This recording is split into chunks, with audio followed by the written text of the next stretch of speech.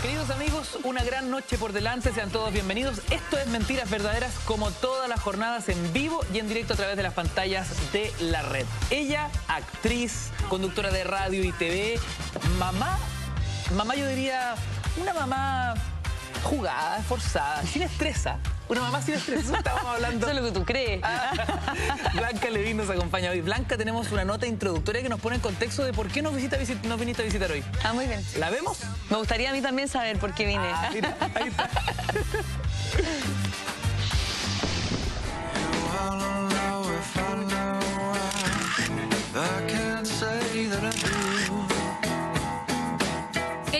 Sangre Eterna, La vida de los peces, Sábado y En la cama son algunas de las películas chilenas en las que ha actuado. Pero no solo el cine ha sido el escenario de esta actriz, también el teatro, la televisión, las series de ficción e incluso la radio. Hoy nos visita en Mentiras Verdaderas la multifacética y carismática actriz Blanca Levín. Entró al mundo de la televisión como VJ del canal de cable Vía X y como actriz al área dramática de TVN en 1997.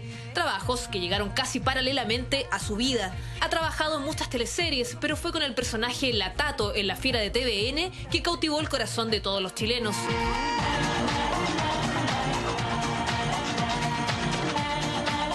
En series de ficción se destacó por su personaje en El reemplazante de TVN y su participación en la exitosa serie Prófugos de HBO, interpretando a Laura Ferragut, hija de la dueña y cabecilla de un cartel de drogas. Ella es hija de Kika, que es la, la dueña del cartel, y hermana de Vicente Ferragut, que es uno de los cuatro prófugos. Pero en realidad yo siempre me he dedicado más como a la parte administrativa. Sí. Está la plata. Igualmente. Actualmente está trabajando en el reestreno de la obra Le Prenom, dirigida por Patricio Pimienta, que la lleva nuevamente a las tablas del Teatro Mori. Esta multifacética actriz llega al set de Mentiras Verdaderas a contarnos de sus proyectos y de su larga trayectoria.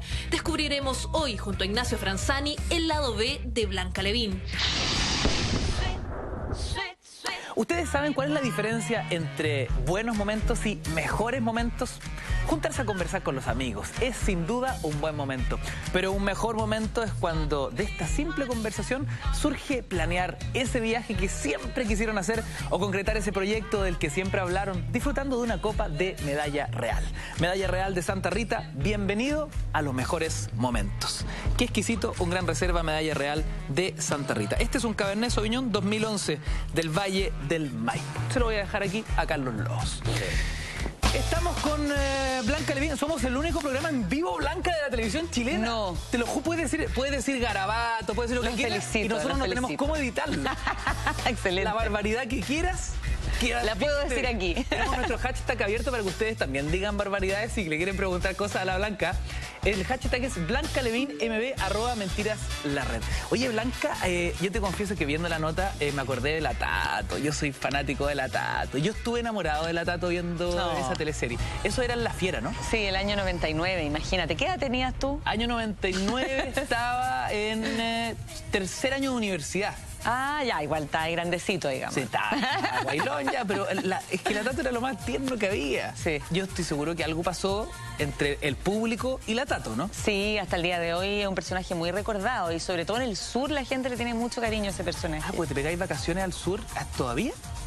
que si yo todavía voy al sur. No, si la gente todavía se Sí. acuerda ya. No, no, o sea, la gente se acuerda no solo allá, pero sobre todo en el sur hay como un cariño muy, muy especial por ese personaje todavía. Hablaba como así. Eh, no, sí. hab- sí, hablaba como rapidito, es que ya no me acuerdo porque... Un poquito Es que fue un trabajo de investigación que yo hice, Ah, que fui recorriendo, no, nos falta un tonto, entonces yo podría más o menos repetirlo, pero nunca... tan- Yo me acuerdo que yo veía la tele después y no entendía lo que yo hablaba, pues hablaba tan rápido la Tato. Y la gente del sur habla así, habla cantadito y rápido y, y como con una voz muy aguda, era, era muy bonito. ¿Qué anécdotas te, te llevaste de esa teleserie? De esa teleserie. Mira, yo lo pasé súper bien en esa teleserie. Primero porque es que yo lo paso muy bien cuando mis personajes lo pasan bien, parece. Porque ahora, la tercera que estoy haciendo ahora, también lo paso súper bien. Pero lo pasé súper bien porque grababa poquito. Era un personaje que, pese a como su popularidad, eh, salía poquito en la teleserie. Entonces, pero como era la época de, oro de las teleseries y había presupuesto y viajábamos para todos lados, entonces yo iba a Chiloé una semana y grababa, ponte tú un día una escena, otro día tres escenas. Ah, entonces, y el Tenía mucho tiempo y pasé y conocí todo Chiloé, ¿cachai? Entonces, y, esa es la investigación que te digo que hice. En el fondo yo iba, le tocaba las puertas a la gente, así como, eh, hola, ¿sabes? Estoy haciendo un trabajo. Algunos sí, otros no sé, pero yo así como muy patuamente le decía, ¿sabe que estoy haciendo un trabajo de investigación? Usted me dejaría mirar cómo es su cocina. Y me hacían pasar, la gente era lo más cariñosa que hay, porque en el sur tienen eso, ¿no? Que es como te, apapachan así como en su casa. Es muy una vez me fui de vacaciones a, la isla de Tenaum, a la Mirella, si no estaba mirando. Tenaum es tierra de brujos. No me diga. Sí, pues. No me dijo la Mirella eso. La Mirella ah. era dueña de casa. Yo viví en su casa como una semana. Esa, esa, cosa que uno va como dos días y se queda como semana y media. Sí. Qué manera de comer todo alrededor de la cocina, comiendo cositas ricas. E, ese desayuno que parecía como eh, almuerzo, almuerzo de comida. sí. Sí, no, exquisito. Chiloé. Le mandamos un saludo a nuestros amigos en Chiloé que nos están viendo. Esa fue la Tato en La Fiera. Sí. Ahora, ¿cómo fue este, este hecho concreto de regresar al canal que de cierta forma te vio nacer en las teleseries. Estuviste en eh, Canal 3 un rato y ahora volviste a TVN, como bien decíamos, ¿no? Antes en una época dorada de las teleseries, hoy día en un contexto mucho más austero, mucho más constreñido y, también de crisis. Sí, sí, mira, en realidad eh, al principio para mí fue súper eh, bonito volver a TVN. Bueno, todavía en realidad sigue siendo bonito, no, sé por qué dije al principio, pero tiene que ver con que cuando yo entré a trabajar ese canal, si bien había una época de oro en las teleseries, también eh, las condiciones en las que grabábamos, los estudios donde estábamos de repente... ¿A todo cachete? No, al principio no. El canal, nosotros vivimos todo el proceso de construcción del canal de TVN como es hoy día, ese edificio grande, gigante y toda la cuestión. Que la otra vez mi, mi hija me decía, oye, pero qué feo este lugar, me dice, pues no hay decoración. Y claro, porque es como imponente y todo. Pero la verdad es que cuando volví a trabajar a TVN ahora, yo me di cuenta que como había habido todo ese proceso y alcancé a usar esos estudios... Está saliendo la, la pequeña. Una, una, blanca le viene en potencia. En potencia, no. Eh, entonces, como que volver a ese lugar, como a, ese edificio, a esos estudios, a esas salas de maquillaje, vestuario y peluquería, como que me hizo volver a pensar que todo ese lugar fue construido pensando efectivamente en la gente que trabajaba ahí. Yo me acuerdo que no hubo nada de las cosas de maquillaje que no estuvieran supervisadas directamente por la jefa de maquillaje. No hubo nada en peluquería que no estuviera directamente supervisado por... Eh, el peluquero a cargo y por eso es que ahora en todas las partes de peluquería hay lavapelo, o sea, están todas las necesidades cubiertas y eso es un agrado porque la verdad nosotros nunca, nunca estamos trabajando en esas condiciones, en ningún lugar en Chile por lo menos. Entonces, en ese sentido fue de súper felicidad para mí en ese momento. Oye, Blanca, a ver, mira, yo hice un pequeño punteo acá de las que yo me acordaba, ¿no? Porque eh, la gente se refresca la memoria y sobre todo esas teleseries que nos permitieron viajar por Chile, conocer eh, minorías étnicas, eh, conocer realidades distintas. Sí que fueron importantes las, teleseries de, Sabatini, sobre todo, ¿no? Romané, Llorana, Pampa, Ilusión. ¿Qué recuerdos te, te, te, dejó Romané y todo lo que implicó entrar en el mundo gitano y todo el rollo? Oh, qué lindo. Eso fue muy bonito, la verdad. Aparte que... Eh, bueno, me tocó hacer de pareja de Héctor Noguera, que había sido como mi profesor también en la escuela, y eso fue como bien impresionante, porque... Qué Claro, y tenían esta relación como que era medio telo y desdémona, ¿no? Como de celo, y fue súper bonito para mí grabar con el Tito, la verdad. Ay, muy nerviosa. Porque iba a grabar con él. Con el profe, claro. Y bueno, un poco, un poco sí. lo habíais visto en la tele desde que era cabra chica. Sí, claro, claro. Pero había sido mi profesor, entonces también le conocía su lado B, como dicen ustedes. Así que, pero era muy bonito grabar con él, como que es un actor muy em, profundo, ¿no? Como que no está pensando siempre en el aquí y ahora, sino que siempre está en otro lugar, pero desde ese lugar él trabaja y eso es muy bonito. Hay algo interesante, porque con Tito Noguera ahora eh, los dos pasan los años, se, se, convierten en actores cada vez más robustos, ¿no? Con, con más papeles, con más herramientas. Se vuelven a encontrar en un proyecto de cine que va a ser dirigido por la Marcela Said, destacada documentalista chilena. Exactamente. Que ya dirigió una película y esta vendría a ser su segunda ficción. O sea, que ya dirigió una ficción, porque películas ha hecho un montón. Claro, es que yo digo como película documental. Es que a los documentalistas les carga eso. Ver, ¿Hasta cuándo. ¿Hasta cuándo son tratados como el hermano pobre de- del cine? Como si no fuesen Como si no directores. fuesen películas, como si no fuesen directores. No, ellos son documentalistas. Ya, aclarado el punto. Aclarado el punto. Pero te, Por te reencuentras con el Tito Noguera y en una, en una historia que es bastante interesante. Me gustaría que le contara a la gente de qué se tratan los perros. Sí, es una. A mí me gustaría decir que Los Perros todavía es un nombre de trabajo. Ha tenido, tuvo otro nombre y todo. Pero sí, es un proyecto bien interesante eh, de una mujer chilena de clase alta que mm, está rodeada por un mundo que la maltrata psicológicamente, o por lo menos eso se ve como. Y eh, por una situación X que va como cumpleaños, una amiga la invita a, a tomar clases de equitación. Ya. Y ella toma clases de equitación y se involucra mucho con su instructor, Que es Tito Noguera. que es Tito Noguera, que es un ex coronel, eh, y con el que establece una relación afectiva muy fuerte con él, con, con el mundo de los caballos, como que un poco su vida se, se concentra en eso. Y este ex coronel, por supuesto que está involucrado en un caso de derechos humanos, y ahí viene como todo el conflicto eh, de ella con esa situación, de su entorno hacia ella por estar yendo a clase de equitación con este señor, etcétera. Y lo que a mí me interesa de esta película es que tiene un punto de vista que yo siento que no se ha planteado nunca en el cine chileno y por lo mismo es un poco arriesgado. ¿Cuál es el punto de vista? Porque es un punto de vista que podría ser, podría llegar a ser incorrecto y que tiene que ver con con el otro lado, ¿no? Como con el maltrato que ella recibe de su entorno por tener esta relación con este señor. ¿Cachai? Es como el al revés. Y que habla finalmente de la relación en Chile entre la clase alta y la clase militar. En, años de dictadura. Sí, pero la Y película posteriores. y posteriores y, permanentemente, o sea, hoy día está, está pasando todo en ese sentido, Por ¿no? supuesto. Bueno, vamos, vamos a tener una entrevista bastante importante en algunos minutos al respecto, ¿no? Pero para no desvi- desviarnos del tema, ya que estábamos hablando de esta, de esta teleserie de, de Llorana, otro, otro recorrido por Chile. ¿Cómo, qué, postales te quedaron de esa, esa teleserie? Bueno, muchas, o sea, esa fue la primera teleserie en que yo viajé. Ya. Eh, yo- ya era un gran logro, me O sea, imagínate, o sea, era la primera que yo hacía con el elenco de Sabatini, porque venía de trabajar con la Kena en Tic Tac. eh, y claro, era como conocer Isla de Pascua. Yo al año siguiente volví de vacaciones y el año pasado volví de nuevo porque quería mostrarle a mi hija la Isla de Pascua y todo. ¿Nunca había ido antes de la teleserie Isla de Pascua? Nunca. Ah, o sea, fue un fue alto muy bonito, claro. Y, y, bueno, también allá, por mi característica de personalidad, también me relacioné mucho con la gente. Eh, también tenía bastante tiempo libre allá, entonces tenía tiempo de ir, de aprender a cómo se hacían los trajes de pluma, de aprender a, bueno, aprender a bailar y todo eso era parte como de lo que hacía mi personaje, las canciones. Fue muy bonito y todavía conservo amistades de esa época. O sea, yo cuando volví de vacaciones el año pasado, eh, me quedé en la casa de una amiga. sí. ¿Es, es cierto que lo- los hombres en Rapa Nui son cosas serias? Sí, sí. Nuestro público, la red, la red llega en directo a Rapa Nui, nos deben estar viendo. Me gustaría que desenmascaráramos a ese galán Rapa Nui. A ese galán Rapa Nui, sí, es peligroso. Jugado. Pero yo, bueno, era muy joven en esa época y muy ingenua también. Entonces como que no enganché en eso. Ya. Y por eso todas sus madres me adoraban, porque no me metí con ninguno de sus hijos. Mira, Sí, no, pero hay gente muy bonita, gente muy bonita. Te adoraban sus madres. Sí, sus mamás me querían. Por eso me enseñaban a hacer los trajes de pluma. y Ya, pero de aquí, pero ¿qué tan lanzado era como este rollo de llegar a la Son chica linda, acosadores, pues no todos, no todos, pero sí, son, son acosadores. pi- Piropero. No sé si son piroperos, porque ellos tienen una onda muy. eh, muy como centrada en ellos. Son como. Son como. Ay, no sé, no sé ¿Están lo- qué analogía hacer, pero.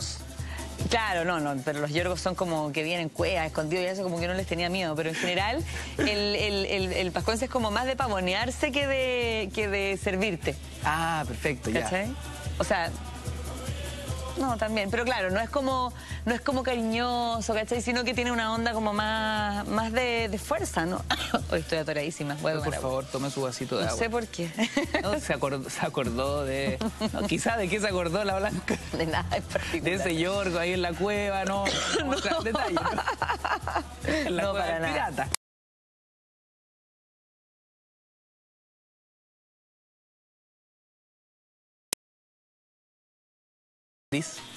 No me acuerdo. ¿En serio? En serio, es que decidí, no habiendo y digo, oh, esto quiero... Sino que vi como una obra de teatro hecha por el grupo de teatro de mi colegio. Ya. Y yo creo que nunca me habían llevado al teatro hasta ese momento. Y, y claro, como que no cachaba que eso era algo que uno podía hacer y dedicarse a eso. Y Era un juego en ese minuto para ti. Claro, pero, pero ya ahí decidí que quería ser actriz. Y después obviamente tuve dudas ya más entrando a la adolescencia, porque esto puede ser muy inestable, qué sé yo. Pero yo te diría que ya como en segundo medio, como que encontré que no, que no me veía siendo, fe- no me proyectaba siendo feliz en ninguna otra cosa. Entonces como que era eso lo que tenía que estudiar nomás. ¿Cómo eres cuando chica? ¿Cómo te llevabas con tus viejos, por ejemplo? Eh, Rebelde, tímida, callada. no sé, yo Te creo pavoneabas. que... Gusta ese concepto. Pavonearse. Sí, yo creo que depende de la edad y del proceso por el que uno está pasando. O sea, eh, aparte que yo viví como distintas etapas de mi vida con distintos papás, ¿cachai? Entonces, también tiene que ver como con el momento de mi vida, la relación que tenía con ellos. Entonces, no sé, pues... a los 12, 13 años no me llevaba bien con nadie, ¿cachai? Porque a esa edad me parece que es, total. Claro, que es normal no llevarse bien con nadie, ¿cachai? Eh, pero en otros momentos no, me he llevado bien. Sí, un amigo me decía eso, cuando uno supera el odio a sus padres, viene el amor total. Y el amor total, digamos, a- a- Puede ser, puede ser que bien. el mamoneo, el, el- En fin. No es tu caso, parece. No, parece que no. No se dio nunca. No, no sé si, no así, quizás de otras maneras, pero no así. Oye, Blanca, bueno, decides estudiar teatro y la televisión se convierte en un lugar donde te has desarrollado eh, de manera súper, eh, eh, no sé, integral, sumado al teatro y por supuesto el cine. Ya hablaremos de, de películas importantes que ha hecho, donde hay ganado premios, películas que han sido premiadas, además que han recorrido el mundo en festivales. Eh, pero para ir cerrando algunos cabos sueltos, ¿no? ¿Qué pasó con Pampa Ilusión? Eh, ¿Qué pasó? ¿En qué sentido? Eh, ¿Qué recuerdos tienes? Porque ah, yo lo pasé increíble. Ese era marca- otro personaje que lo pasaba Cada bien. serie marca no solo un personaje Sí. eh, y una etapa de actoral, sino Sí. que también una etapa de tu vida. Sí, sí, pero en realidad como que parece que los, efectivamente en teleserie, como las teleseries siempre ocupan como harto tiempo durante el año, son como siete meses y hay que sostener una historia como por 100 capítulos Y y, al toda la final, claro, como un año de tu vida casi completo dedicado, Claro, entonces... eh, dedicada a Clara en este caso. A mí me pasa mucho que llega un momento en que me aburro y que lo empiezo a pasar mal y todo.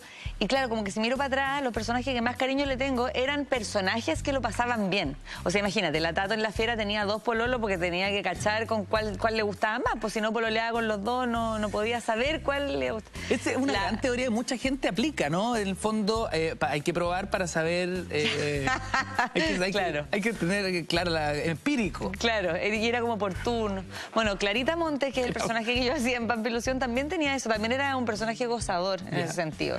Y le gustaba provocar y le gustaba eh, que escandalizar a la sociedad de la cual ella formaba parte. Era bien bonito. Pero también tenía una sensibilidad muy bonita hacia como el mundo de los trabajadores y todo. Yo sigo obsesionado con la Tato. Tenía dos pololos y me, me, dij- me recordaste que era por turno y ellos estaban conscientes de esta situación, ¿no? Por supuesto. Y, pe- y peleaban por ella. Claro. Que eran como dos turistas que se quedaron ahí como Sí, pegados en un viaje eterno. Sí, interpretado por Nicolás Saavedra, que está en la obra conmigo ahora, y por Claudio González. Pololo por turno. Oye, aguántame un segundo. ¿Ya? ¿Esa en la vida real la he hecho? No. ¿Alguna vez? No. A esta altura nada, nadie te aguanta esa. No, no que me acuerde. Pololo por turno, ¿ah? Por Dios, las cosas que se le ocurre a los guionistas. Llegaron los días de descuento en despegar.com. Ojo con ofertas de hasta un 50% de descuento y son por pocos días. Así. ¿Quieres viajar? Apúrate. Volvieron los días de descuento Aprovecha hasta 50% de descuento solo por pocos días. Además, pagan 6 cuotas sin interés con todas las tarjetas de crédito bancarias. No te pierdas los días de descuento de despegar.com con ofertas increíbles. Despegar.com. Viajar es posible. Aprovecha y compra en despegar.com vuelos, paquetes, hoteles, cruceros y mucho más en seis cuotas sin interés con todas las tarjetas de crédito bancarias. Exclusivo en despegar.com. Viajar por Chile y todo el mundo solo hasta el 31 de julio. Así que aprovecha. Seguimos junto a Blanca Levín. El hashtag está abierto. Vamos a hacer una pequeña pausa. Aprovecha de tuitearnos que ya regresamos. La Blanca está en Mentiras Verdaderas.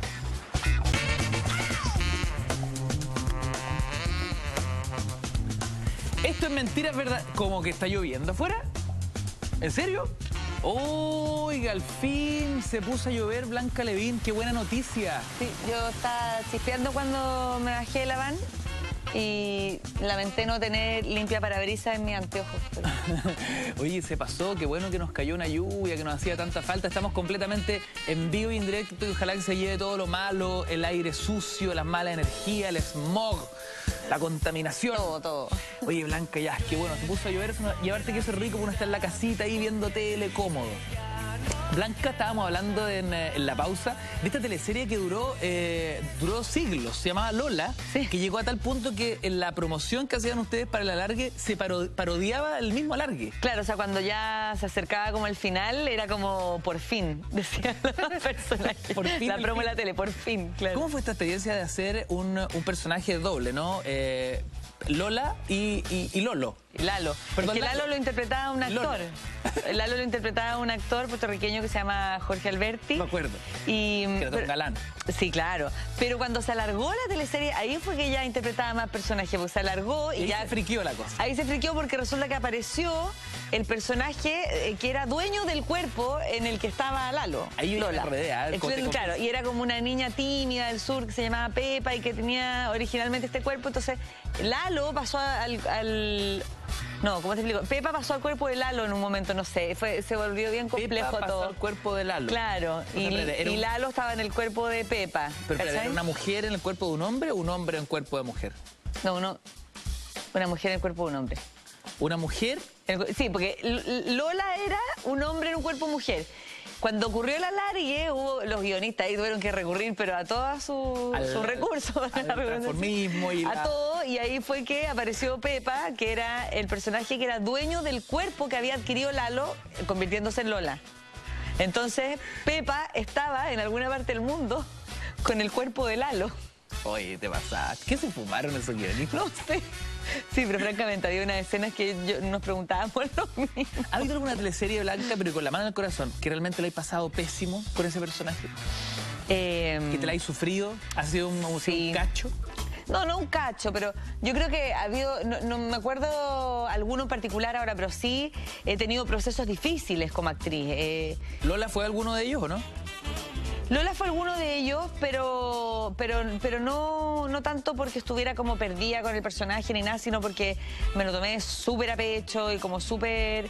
eh, no sé, entré, yo venía entrando a Canal 13, recién había firmado un contrato para hacer tres proyectos y terminó siendo uno. Y todo el tiempo a mí ahí me hicieron sentir de que el éxito o fracaso de esta teleserie caía sobre mis hombros. Entonces yo creo que eso eh, para mí fue súper heavy. Como veíamos recién la imagen, ¿no? Que, el nombre de la teleserie tenga tu cara. Claro, claro. Como, el- como en la letra. Claro, cuando salió, salieron las gráficas en la calle, antes que saliera al aire la teleserie, yo no podía creerlo. Nunca había estado en esa situación antes. Yo me iba manejando por los leones a mi casa y en cada cuadra todos los paraderos de la micro tenían mi cara, ¿cachai? Era como. Nunca, nunca había vivido algo así. Entonces eso fue súper fuerte y eso quizás hizo que yo no lo pasara tan bien. Pero el personaje me hizo pasarlo muy bien. Totalmente. O sea, Qué interesante lo que me dice, porque mucha gente pensará en su casa, está viviendo un gran momento, con el ego inflado, vaya en el auto ahí, está ahí en todos lados, así estoy en mi mejor no, era, momento. que era Todo lo violento. Sí, era intimidante. Lo estáis en ese momento. Sí. No, no mal, pero era súper intimidante. Era como que me da. Todo me da mucho nervio. Oye, Blanca, vamos a revisar en breve eh, algunos tuiteos de nuestros amigos en el hashtag BlancaLevinMB, arroba mentiras de red. Mientras, aguántenme poquitos segundos, queridos amigos. Don Carlos Lobos, ¿qué tiene para mí, señor productor? Es que todos soñamos alguna vez con ser un superhéroe, una preciosa princesa o vivir en mundos increíbles. Bueno, es hora de dejar de soñar, hacerlo realidad con la promo que Copec y Lampaz tienen para ti, porque Copec regala todas las semanas un viaje para cuatro personas, all inclusive, todo incluido, al mágico mundo de Orlando. Solo tienes que presentar tu tarjeta Mundo Copec Lampaz al cargar combustible y ya estarás participando. Vive la magia con Copec, primera en servicio. Copec en mentiras verdaderas. Ya son las 11 de la noche con 6 minutos y conversamos con Blanca Levín. Hashtag Blanca Levín MB, arroba mentiras la red. Bueno, te preguntaba qué teleserie había sido un problema. Nos quedamos hablando de Lola. Sí. Un problema como una bueno, dificultad. en Lola había esa dificultad. En otras teleseries quizás. eh, Proceso complejo. Claro, como me acuerdo en, en Romané justamente estaba súper confundida con el personaje, no allá cómo hacer para diferenciarlo del resto de las gitanas, porque nos veíamos en realidad todas iguales, ¿cachai? Eh, ponte tú, o, no sé, eh, Secreto en el Jardín, eh, que fue una gran teleserie, encuentro yo, eh, pero claro, el personaje lo pasaba muy mal y, y yo también lo pasé muy mal. ¿Qué le pasaba a tu personaje? No, eh, era la mujer de uno de los supuestos psicópatas eh, y ella lo descubría. Y lo descubría, entonces eh, la, mm, la trataban de loca, la trataban de internar en una clínica psiquiátrica, en fin, le pasaban como muchas cosas muy horribles. Y, y lo pasé mal porque el personaje lo pasaba mal, pero...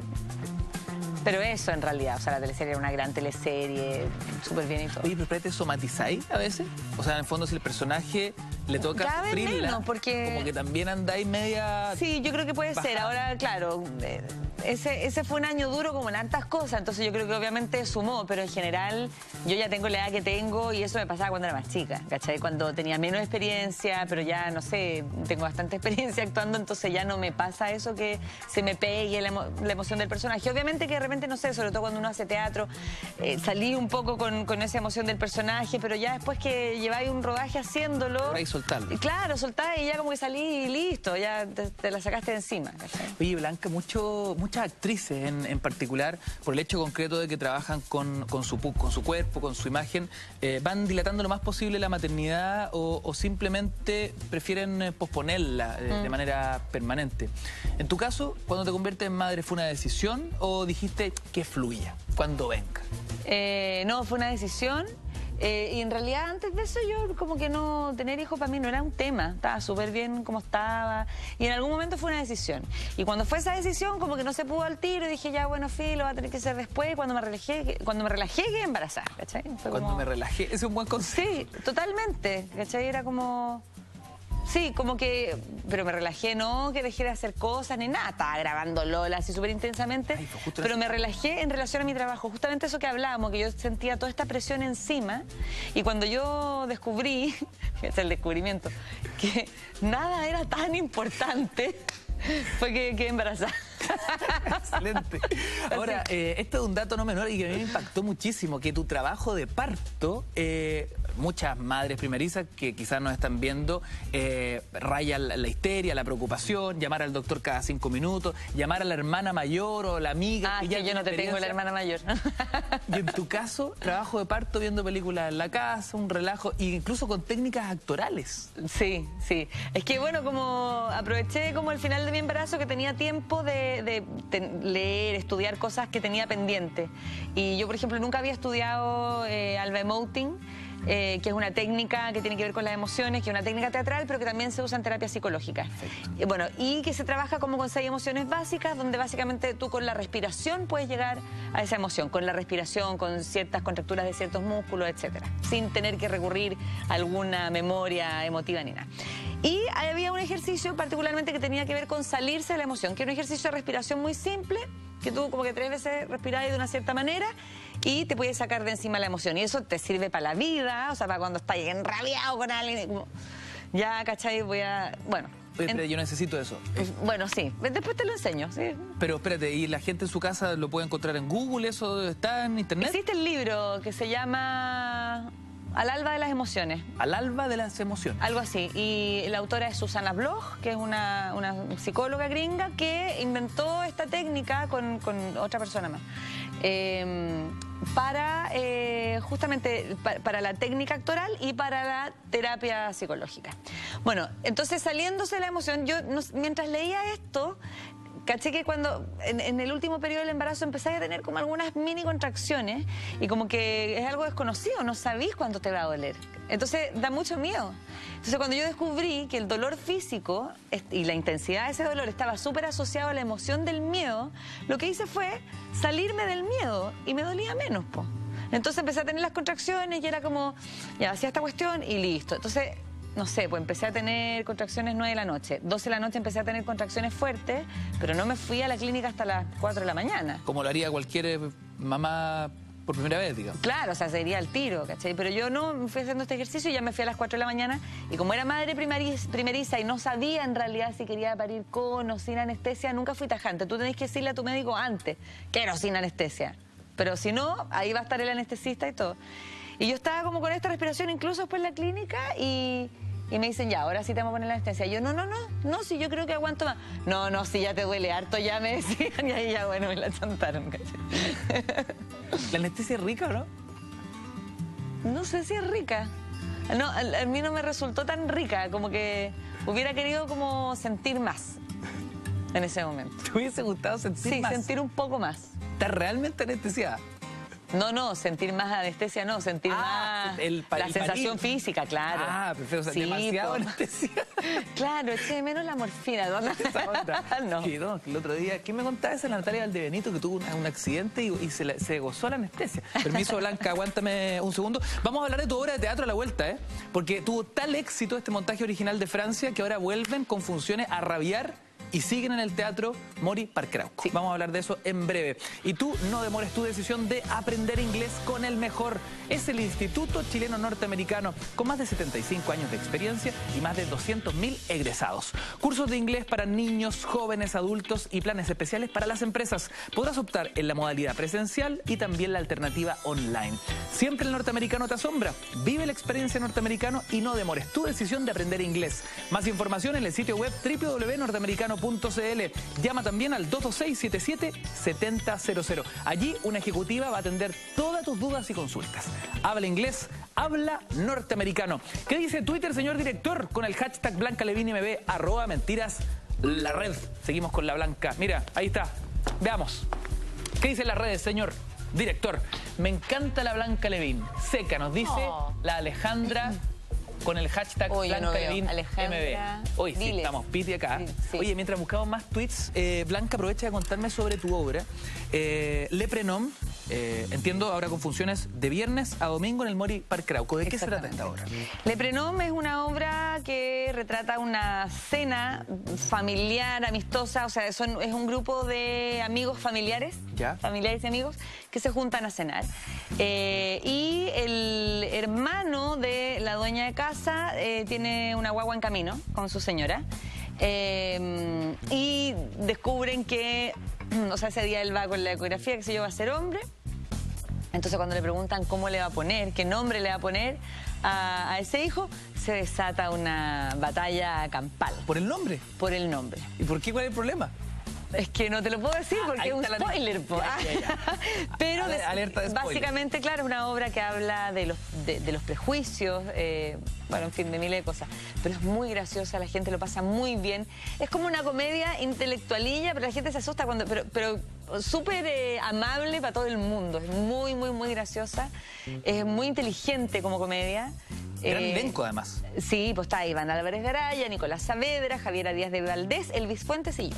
Dirigida por Patricio Pimienta, que de humor Patricio. sabe. Sí, claro. Así que, no, la obra está... Nosotros lo pasamos muy bien, además. Tuvimos tres meses en cartelera que ya... Como que uno está acostumbrado a tener temporadas más cortas y es como, ya, que se acabe esta cuestión. Y era como, no, queríamos seguir y ahora volvemos. Oye, Blanca, yo me reía contigo de en la pausa y te decía, no, de verdad entrar un pascuense, vamos a hacer un baile acá, y tú te decías las cosas de la tele. ¿no? Esas cosas de la Pero, tele. ¿Has tenido cosas de la tele cuando has sido, por ejemplo, jurado de algunos programas súper mediáticos, ¿no? En rojo. Claro, pero sí, pero mm, eh, eso pasaba... no- Locos por el baile, también fuiste jueza. ¿De locos por el baile? ¿O nada que ver? No, parece que no. ¿No? No, no, no. Pero te ha tocado ser jurado. Me ha tocado ser uno que jurado. otro programa de televisión. Sí, pero es que lo que me pasaba es que cuando era más joven pasaba mucho que nos invitaban N a los actores a, a programas estelares y como a hacer el loco. A la clásica, promocionar, la tercera. Eso, claro, pero al final terminaba diciendo el loco y tenías que disfrazarte y hacer una fonomímica, que ahora está muy de moda con el programa Lip Sync y todo. Pero eh, yo creo que eso se fue acabando porque también los actores fuimos poniendo como eh, límite a eso. ¿Cuál fue el peor, el peor chascarro que te tocó en ese contexto? Oh, no me acuerdo, a Como ver. de invitaciones para hacer el loco en el estelar de turno. Eh, no me acuerdo, pero tuve que hacer de Blondie una vez. Después me invitaban como a cantar una canción y como que la típica como decía, no, podéis cantarte este bolero, esta cuestión. Y yo que era en esa época un poco más punky, era como, no, quiero cantar, no sé. Blondie. Claro, no, una, una vez canté algo más punky, no me acuerdo quién. Sí, canté esa canción. No, pero otra. pero claro, como que quería, quería, quería, pese a esa obligación que yo tenía, ser un poquito rebelde. ¿Cachai? Pero por suerte no me ha tocado más hacer esas cosas. De hecho, el, el año pasado, no, el año antepasado fui a Vértigo Y también yo veía que todas las otras invitadas hoy cantaban y hacían cosas. Yo decía, chuta, que me va a tocar hacer a mí porque me muero, no estoy preparada para esto. Y por suerte no me hicieron hacer nada de eso, pero. Ah, mira. Sí. Y Yerko te Porque no estaba preparada, además. Claro. Yerko, no me acuerdo si me trató bien o mal. Me tiene que haber tirado una talla pesada, digamos, pero. Es Yerko, digamos, es un actor interpretando un personaje, y los actores entendemos eso. Si no te tira una talla pesada, es como que no. Claro, no Como que no- no existes. Claro, pero tiró una talla así como que yo no estaba haciendo nada, entonces que por qué me habían invitado, cuestión- algo así. Mira qué mala onda. Sí, un no, clásico pero de dio lo mismo. Y Blanca, eh, y otra experiencia fuera de lo, de lo teatral, ¿estuviste en la liga? Estuve en la liga en su primera temporada, sí, que fue justo el periodo en que yo me fui de TVN y apareció esta oferta de trabajo mientras yo buscaba otra cosa y mientras estaba en la liga fue que apareció Canal 13 y Lola y todo lo demás. Para quienes no se acuerdan, la liga era una, una experiencia muy vivencial a- a- al hueso, ¿no? Era como un documental vivencial, un programa de reportaje, pero vivencial. ¿Qué te Uno tocó? se convertía en el protagonista de esa historia. Me tocó, me tocaron muchas cosas, porque cada capítulo era un tema, ¿no? Estaba el tema basura, el tema eh, muerte, el tema presos, el tema no sé qué. Entonces, cada uno de los conductores eh, Vivía eso. vivía un aspecto de eso. Por ejemplo, no sé, en el capítulo Muerte, me acuerdo que a Rafael Cabá le tocó eh, ir a trabajar de sepulturero, ¿cachai? A, a- a cavar la- la- las tumbas, qué sé yo. A mí me tocó participar de una autopsia.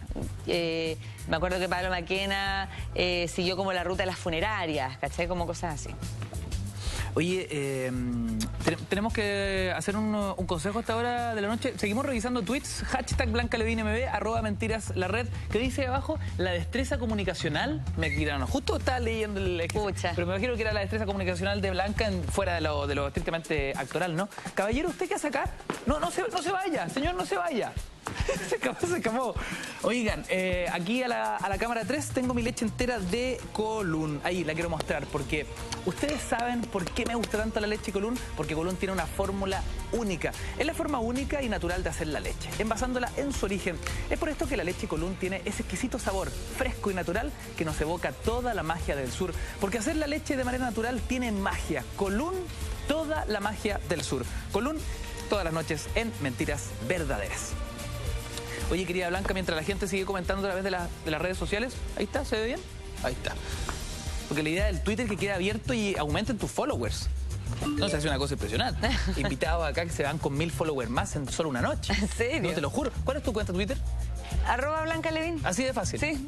Aquí para que tú respondas cuando te vayas de vuelta a casa. Te quiero agradecer enormemente la visita, querida Blanca. Muchas gracias a nuestro ti. programa. Y te quiero comentar que eh, nuestra, nuestra próxima invitada es eh, de, esos, eh, de, esos, de esos invitados que son fundamentales para nosotros. Vamos a tener una conversación a partir de este minuto muy íntima, muy franca, la verdad, muy esperada por mí también. Quiero recordar eh, un poco el contexto. El día 2 de julio del año 1986, eh, la dictadura de Pinochet muestra una de sus caras más feroces cuando una patrulla militar eh, apresa a dos jóvenes, los quema vivos y los lanza en un camino cerca del aeropuerto, ¿no? El, el llamado caso Quemados. Han pasado casi 30 años de este episodio y milag- milagrosamente este caso se ha reabierto después del testimonio clave de uno de los ex eh, militares. Hoy día conversamos con la víctima sobreviviente de esta historia. Los invito a revisar las siguientes imágenes porque a la vuelta estamos con Carmen Gloria Quintana de Mentiras Verdaderas.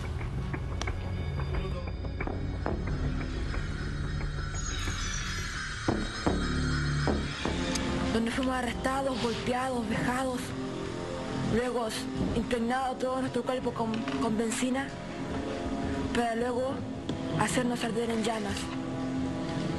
Y luego dejarnos abandonados a casi 25 kilómetros del lugar donde habíamos sido quemados por los militares. Quemados por los militares. Ha pasado un año y ya Rodrigo está muerto. Ya Rodrigo está muerto. Las llamas ya no son llamas, que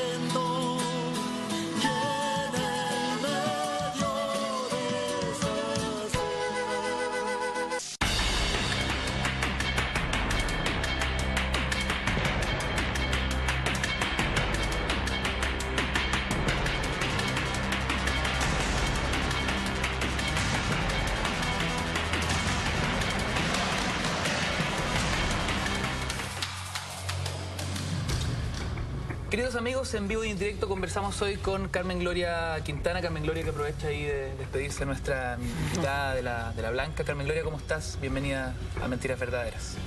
Buenas noches, estoy bien, gracias. Yo te comentaba que para mí era todo un honor poder eh, sostener esta conversación. Yo te confieso que este caso yo lo, lo pude conocer, así como muchos chilenos de una generación no directamente involucrada, digamos, eh, históricamente, ¿no? Con, con los años de dictadura, quizás un poco más joven. Eh, yo conocí este caso gracias al documental La ciudad de los fotógrafos, eh, donde, donde justamente la historia de Rodrigo Rojas de Negri es eh, muy simbólica. Los fotógrafos que salían a documentar las, las marchas y las protestas en la década de los 80 principalmente, ¿no? Y, y así me entero de esto y la verdad siempre había tenido mucha inquietud de saber de, de ti, de tu vida, de tu historia. Sabía que estabas fuera de Chile. Y de un minuto a otro, este caso tiene un vuelco, eh, la verdad, bien insólito. Yo quiero saber, Carmen Gloria, ¿dónde estabas? ¿Con quién estabas? ¿Qué pasó contigo en tu interior, en tu, en tu, en tu sentimiento más profundo, cuando te enteras de que hay un testigo clave que ha decidido hablar y romper un pacto de silencio luego de casi 30 años? Bueno, yo estoy viviendo en Montreal hace ya cinco años. Eh, cuando me llaman por teléfono eh, del canal que el programa en La Mira, donde estaba todo esto eh, ya bastante avanzado, me dicen que hay un conflicto que quiere eh, declarar y decir la verdad. Y para mí fue como un nuevo, un nuevo déjà, déjà vu, porque hace años anteriores, en el año 2004 y creo que en el 98, también había recibido llamados así de que habían conflictos que en el último que querían hablar. Yo les decía, bueno, que vayan a tribunales, que declaren la prensa. Y en el último minuto, cuando se iban a hacer esas conexiones con prensa o con tribunales, algo pasaba que se arrepentían y yo jamás conocí sus nombres ni nada, sino que era a través de periodistas. O sea, cuando te comentan esto, Yo no creo. tu reacción fue de suspicacia total. Claro. Otra, otra más que no va a resultar, digamos. Claro, como caer en una desesperanza continua de, de- de falsos testimonios, de gente que, que quería y no quería. Por tanto, yo había perdido prácticamente la esperanza de que iba a haber justicia. Eh, y, cuando, y cuando empiezo a preguntar y más datos, a indagar, eh, me dicen que no, que esta persona ya había declarado en el, en el- con, juez, con el juez Carroza, que había declarado eh, en Policía de Investigaciones, que estaba dispuesto a, a sostener su testimonio hasta el final. Fernando Guzmán. Sí, Fernando Guzmán, y que él estaba muy arrepentido y que lo único que deseaba era verme para, para pedirme perdón, excusarse. ¿Qué te pasó ahí? Se me apretó el corazón, o sea, dije. Y como verme enfrentado a ese escenario inesperado era, era bastante mm, insólito para mí y, y emocionante en el sentido de que siempre las víctimas, yo por 29 años he sostenido la verdad. Rodrigo Rojas antes de morir también dijo la verdad. Hubo por lo menos 10 testigos oculares de distintos momentos que también respaldaron nuestro testimonio. Habían peritajes médicos que también respaldaban el testimonio. Por lo tanto, para mí la verdad estaba, que no creyeran otra cosa. Entonces, este el concripto que venga a respaldar mi verdad era algo que, para mí era muy validante en el sentido de, sentir que alguien desde el interior de, de las patrullas que nos quemaron diga la verdad, eh, ya la verdad se va a instalar. Por lo tanto, yo me emocioné mucho, me emocioné mucho y, bueno, muy, muy expectante de saber cuándo iba a ser el minuto que esto iba a develarse, porque teníamos que esperar que el juez Carroza dictara sentencia o llegara de sus vacaciones para que esto saliera la, un poco a la luz. Carmen Gloria, yo creo que, a ver, es muy, es muy difícil intentar eh, eh, comprender qué pasa contigo en tu interior frente a, a la reapertura del caso, digo en lo más profundo, ¿no? ¿Qué significa para un ser humano cargar con, con una verdad? Cargar con una verdad, porque finalmente se convierte en una mochila pesada durante casi 30 años, donde eh, tu cuerpo físicamente es víctima de esa misma verdad y que no hayan responsables es lo concreto, ¿no? Más allá de una pura persona, una patrulla muchísimo más amplia que aquello. Que no hayan responsables pagando por su responsabilidad y por su, por su acto criminal. Bueno, muy frustrante, es muy frustrante eh, haber resultado a los 18 años con todo tu cuerpo quemado, eh, de la manera en que fuimos quemados tan cruelmente, y además en un contexto de dictadura, que donde por pensar diferente, por luchar por la democracia, te atacan, te matan, te hacen desaparecer, te ejecutan, te torturan, te imprisionan, te exilian o te queman o te degollan. Entonces esa era la realidad que vivíamos en ese tiempo.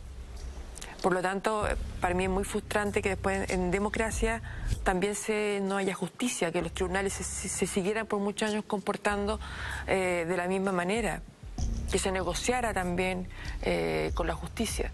¿Tú sientes que esto no es un pacto de silencio? Bueno, yo pienso que una de las cosas importantes, de lo más grave que ocurre al haber la declaración eh, Fernando Guzmán el concripto es que él devela algo que todas las víctimas y, los chilenos informados sabíamos, de que al interior del ejército existe una política institucionalizada de encubrimiento de la mentira para mantener a los criminales eh, de los derechos humanos en la impunidad absoluta. Por eso tú llamas que esto no es un pacto. No es un pacto, porque con Cristo de 9 años, 18 años, malamente pueden tener una voluntad en, eh, en una institución que funciona de manera jerárquica. Por tanto, yo creo que esto esto es una política institucional de la dictadura cívico-militar. Cuando digo cívico-militar, incluyo a los altos mandos del ejército y también a la civilidad que apoyaba la dictadura. No olviden que había una UDI de esa época, una renovación nacional de esa época que estaba de acuerdo con reprimir al pueblo para extender la dictadura por todos los años que fuese necesario para entrar en el modelo, neoliberal. Entonces eso, esa, eh, eh, eso es lo que yo quiero también destacar acá, de que este juicio va, se instauró ahora la querella contra los siete oficiales que están siendo, hoy día se sumaron cinco más, y contra todos los otros que resulten responsables como autores, cómplices o encubridores. Y ahí podrían caer los altos mandos del ejército y también todos los civiles que eh, fueron voceros, ministros o, defendieron las violaciones a los derechos humanos. Ya hablaremos, Carmen Gloria, esta noche de, eso, de esos responsables, ¿no? de, de esos cómplices de, civiles de, este, de esta historia. Eh, pero quizás poco se sabe eh, de, qué pasaba contigo antes de, ese día, antes de esa mañana de, julio del año 86. Eh, tú eras una estudiante, cuéntame un poquito dónde vivías, tu contexto familiar, entender un poquito cómo era, tu vida antes de este episodio que, marca tu existencia. Bueno, yo eh, soy de una familia de tracción humilde. Mi papá es técnico electricista, mi mamá era dueña de casa. Seis hermanos, cinco mujeres y un hombre. Eh, mi hermana mayor estudiaba también en la USACH. Eh, yo estudiaba mi primer año de ingeniería en la USACH. Éramos una familia eh, bastante consciente de mi nivel muy, muy de base de lo que sucedía en nuestro país. Mis padres siempre nos contaban de lo que para ellos significó el gobierno de la Unidad Popular, después lo que fue el golpe, nos dábamos cuenta de las violaciones a los derechos humanos, cómo la prensa mentía eh, respecto de lo que sucedía. Y, y, bueno, estábamos muy descontentos con lo que sucedía, también con la crisis económica que se vivía en los años 80, que afectaba a toda la, la gente de mi población donde yo vivía. Cuando entré a la universidad yo, bueno, me, empecé a implicar de manera muy, muy de base eh, en el movimiento estudiantil de la FEUSACH, organizábamos eh, organizábamos ya comunes para los niños en las poblaciones, eh, hacíamos murales, promovíamos el paro el 2 y 3 de julio, que, que para ese día para nosotros era, era la fecha decisiva, donde todos que fue llamada por la Asamblea de la Civilidad, que eran todos los partidos de la oposición, donde pensábamos que Pinochet iba a caer. Yo era una joven común y corriente, era, me gustaba pololear, iba a fiestas. ¿Estabas pololeando? Estaba pololeando, iba a fiestas, estudiaba, participaba. En esa época eh, había toque de queda, por lo tanto las fiestas, si uno no iba a fiestas se quedaba toda la noche. ¿De toque a toque? Toque a toque. Y, por otra parte también había un clima de mucho temor. Por ejemplo, yo estaba en la universidad y no podía decirle a mi compañero de al lado lo que yo pensaba respecto de Pinochet, porque podía ser un, sapo, podía acusarme y podía ir detenida. Entonces había un clima de desconfianza absoluta. De repente había un compañero que no aparecía más, después sabíamos que lo tenía la CNI o que lo habían matado o hecho desaparecer. Y todos esos crímenes a través de la prensa aparecían encubiertos como falso enfrentamiento o distintas eh, realidades. Entonces tú puedes imaginar un clima de dictadura de esa manera y nosotros los jóvenes de esa época, yo tenía 18 años, estábamos luchando contra eso. Nosotros queríamos democracia, queríamos que se respetara la vida, el derecho a la opinión, que no lo teníamos. Por eso ese día no titubeaste en salir de tu casa temprano a protestar. Claro, en esta movilización nacional. claro. Yo iba, yo iba por, por la FEUSACH, yo iba a salir en marcha con los pobladores desde donde yo vivía hacia la Universidad de Santiago, que también quedaba en el sector de, de Estación Central. Entonces nuestro ánimo era eh, juntarnos a la universidad y, y hacer que el paro fuera exitoso. Entiendo que despertaste muy temprano esa mañana. Sí, sí, nos levantamos, bueno, mi hermana me acompañó, su novio, yo y dos amigos pobladores. La figura de Rodrigo Rojas, eh, ¿tú- ¿ustedes se conocían de antes? ¿Cómo, ¿Cómo tu destino se cruza con el de él? Bueno, Rodrigo Rojas representa otra parte de- del pueblo chileno que sufrió en esos años. Rodrigo Rojas es hijo de Verónica de Negri. Eh, Verónica de Negri es una mujer que ha sufrido mucho. Ella fue eh, detenida, torturada, violada y después exiliada. Y Rodrigo Rojas sale al exilio con su madre, eh, primero en Quebec y después se va a Estados Unidos. Y Rodrigo cuando tiene 18 años, eh, él quiere reencontrarse con su país, conocer sus raíces y también ejercer su profesión, que era fotógrafo profesional. Quería a través de su fotografía reflejar la realidad que se vivía en las poblaciones, tanto a nivel económico como a nivel de movimiento social y protesta. Entonces, en ese contexto yo conozco a Rodrigo de manera muy superficial el día, el día domingo anterior al día que nos queman, donde en una olla común que participábamos con la US- FEUSACH en la población La Palma, que queda al lado de mi población. Eh, jugábamos con los niños, hacíamos arecas políticas para que el pueblo se movilizara el 2 de julio. Y, y de hecho hay una foto donde, que me saca Rodrigo a mí, donde yo estoy haciendo a los niños que salten un cordel. Y Rodrigo toma esa foto y a mí me llama la atención Rodrigo porque era un joven muy alto, muy buen mozo y, y atractivo. Entonces yo digo, uy, qué atractivo el tipo. Incluso uno dice, ¿dónde viene? Así como que sospecha que podría ser un sapo, así dice, ¿de dónde viene este tipo? Y ahí dicen que no, que, que venía a tomar fotos, que venía del exilio. Ustedes se encuentran esa, esa mañana y, ¿qué, qué comienza a suceder? ¿Cuál es, la, secuencia de hechos eh, hasta, hasta, hasta llegar a la historia que, muchos chilenos ya reconocen? La secuencia del hecho es que ese día salimos temprano, nos eh, eh, a, a protestar. En el camino nos encontramos con otro grupo de pobladores que quería hacer una barricada para interrumpir el tránsito en General Velázquez, que era una calle muy transitada, para que, el, para que el paro fuera exitoso. Nos invitan a hacer esta barricada y nosotros aceptamos porque nuestro ánimo era protestar. Y a mí me entregan un neumático, pero antes de empezar a hacer cualquier cosa, eh, alguien grita, vienen los, los milicos, y salimos todos arrancando. Y ahí detienen a Rodrigo, después a mí, y ya esa historia es conocida. Pero, Y, espérate, ¿por qué, y, ¿pero por qué los detienen ustedes si no estaban haciendo nada en concreto, digamos? o sea, íbamos, íbamos camino a hacer una, una barricada, ya era muy temprano. cuentas que no, no alcanzaron a hacer nada. No. Es que en esa época es difícil explicar que cualquier persona era sospechosa.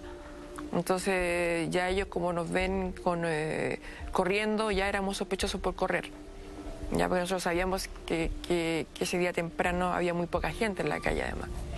Carmen Gloria, cuando tú me dices después sucede lo que ya todo el mundo sabe, eh, ¿es efectivo que tú estos días has estado dando entrevistas en muchos medios en nuestro país? Quizás la gente no lo sabe, pero tu testimonio se ha paseado por distintas partes del mundo. Tú te has convertido Sí. en una verdadera vocera eh, sobre la violación a los derechos humanos en Chile en, en épocas de, de dictadura. Eh, pero nosotros sentimos como programa, y yo en particular, que volver a conversar estos hechos y, narrarlos con detalle es la única forma en que sobre todo las nuevas generaciones, nuestro, nuestro público más, más joven, pueda entender la dimensión de la brutalidad que se vivía en aquel entonces, porque esperamos que esto nunca más vuelva a suceder en Chile. Eh, yo sé que puede ser un ejercicio repetitivo, de- doloroso, pero creo que es la única forma de poder de, de poner las cosas en su, en su justa dimensión. Exactamente qué es lo que va pasando cada minuto de esa, de esa Pues no, mañana. no, no voy a contar cada minuto porque yo quiero en este programa a- a- hablar más de los contextos en que sucede esta violación a los derechos humanos y las, neces- y las reivindicaciones que nosotros tenemos ahora como Por supuesto, tenemos familiares. tiempo, tenemos tiempo Entonces yo te, te voy a contar, bueno, que nos detienen eh, en una patrulla que estaba en ese minuto a cargo de Fernández Ditus. ¿Cuántas personas Había venían en esa patrulla? 30 años, los datos ya a esta altura no los tengo exactos, pero seis militares aproximadamente. Detienen a Rodrigo, lo golpean, después me detienen a mí, a Rodrigo en el suelo, me detienen a mí, me ponen de espalda y también me comienzan a golpear. Eh, después llega otra patrulla y, y llegan con, lo- con el bidón de benzina que nosotros habíamos abandonado, con neumático. Eh, me toman una fotografía con la cámara de Rodrigo, me obligan a tomarme una fotografía. Eh, después se comunica. fotografía? Sí. Eh, esto lo, lo hizo el otro que mandaba la otra patrulla. Después se comunican por walkie-talkie, pasa un tiempo, me siguen echando garabato, me dicen que ven mi documento que yo soy estudiante universitaria, y me dicen que ellos están contra los estudiantes porque son todos antipatria y bueno, un montón de, de garabatos y cosas por el estilo. Después toman el bidón con benzina y Rodrigo en el suelo sangrando y rodean, rocean todo su cuerpo como que río una planta con mucha benzina y yo de pie me rodean, me echan benzina de la cabeza hacia, hacia abajo. ¿Pudiste ver la cara de, de, de quién eh, Estaban todos los militares, eh, efectivamente Estaban- rocía de benzina? estaban todos los militares con camuflaje de negro, porque esa había sido la amenaza del ministro de Interior Ricardo García, sacar a todo el ejército a la calle y reprimir a quienes manifestaban. Estaban todos con... Tenida con- de guerra. Con tenida de guerra. Entonces era difícil reconocer sus caras. Entonces me echan benzina de la cabeza hacia abajo. Y bueno, yo me empiezo a limpiar la boca sin pensar nunca que me iban a quemar. Yo dije, esto me van a soltar después de hacerme este castigo. Como una forma de amedrentarte. Claro. de- Y bueno, y ahí, y ahí salta una llama y, y suena sensación de mi cuerpo y el de Rodrigo. Y, y bueno, yo hago distintos intentos de apagar el incendio y nada de eso es posible. Y después yo me desmayo y me cubren en brazadas, me tiran a un camión, eh, me ponen las pies de militar encima de mi cuerpo humeante y después nos van a botar a, a Quilicura, en las cercanías del aeropuerto, para que nos muramos.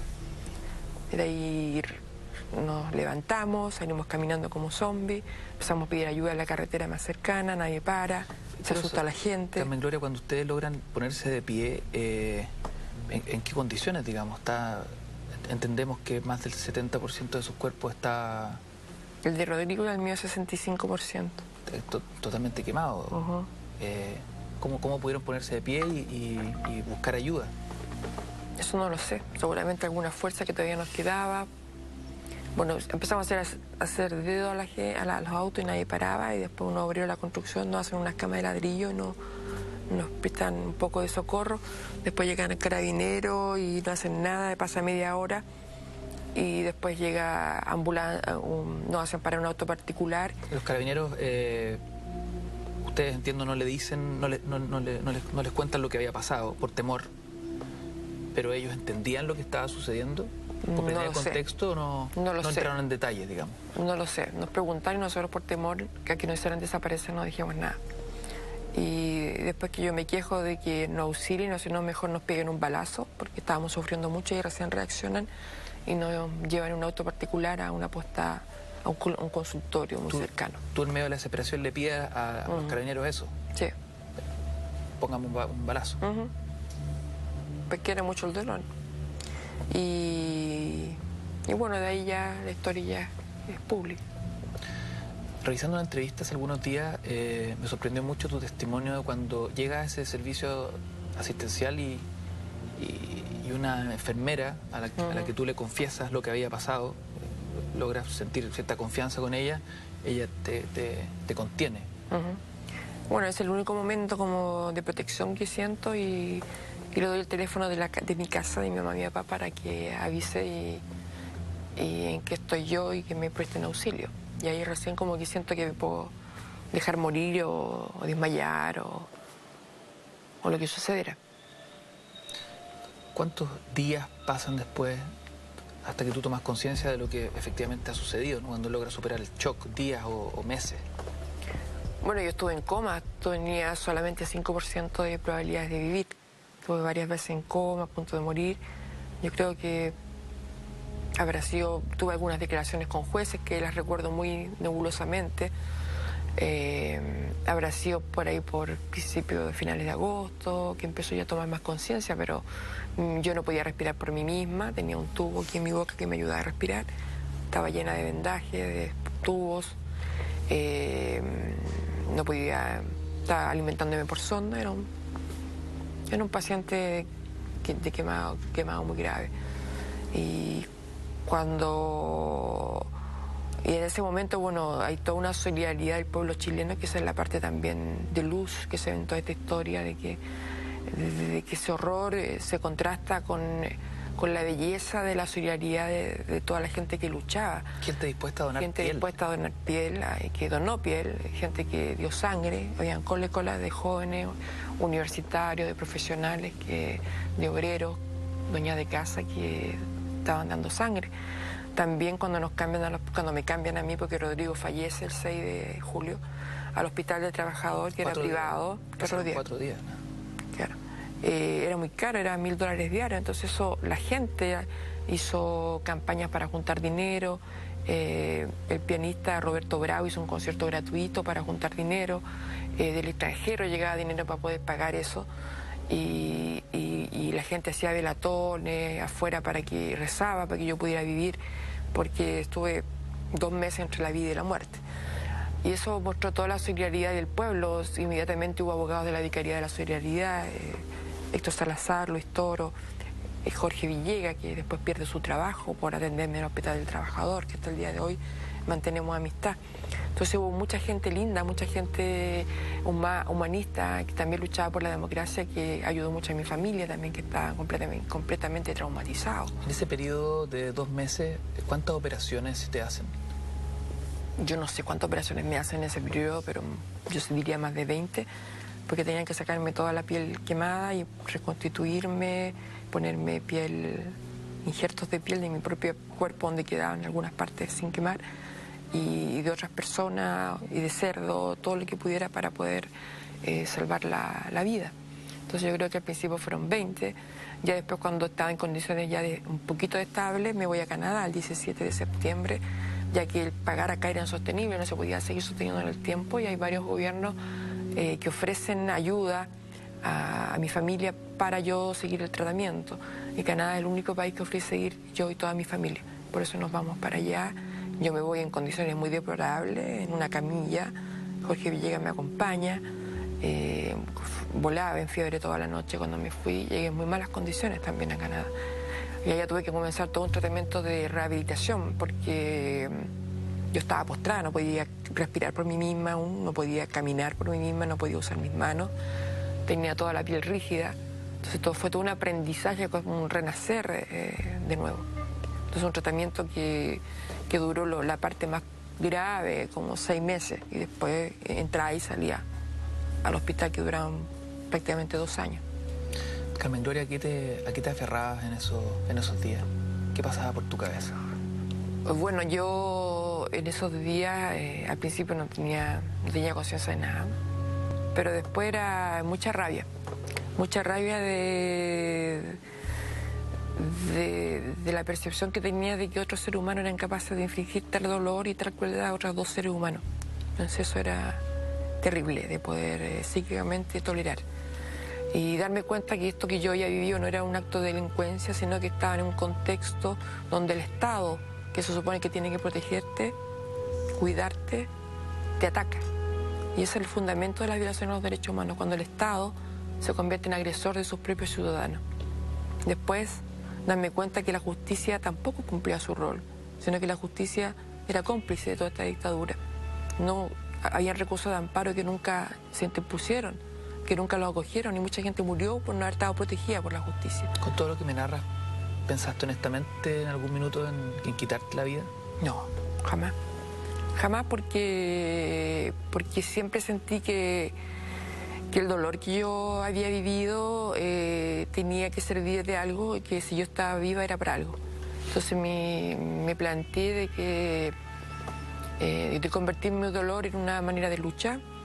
Entonces apenas pude pararme de lo- del hospital, lo único primero que hice fue ir a las Naciones Unidas en Ginebra y declaré frente a todos los gobiernos eh, mi caso y lo ejemplifiqué como un caso más de violación a los derechos humanos que, que ocurrían en la dictadura de, de Pinochet y llamé a todos los embajadores que estaban en la ONU a votar nuevamente para condenar a Chile, al gobierno de la dictadura, por las violaciones sistemáticas de los derechos humanos. ¿Esa convicción la tuviste desde el, desde el primer momento o, o o fue algo que fuiste armando y No. estructurando en tu cabeza de a, de a poco? ¿no? No, desde el primer momento. de primer momento porque me di cuenta que lo que me había sucedido era, era, era muy, muy horrendo, muy, muy difícil.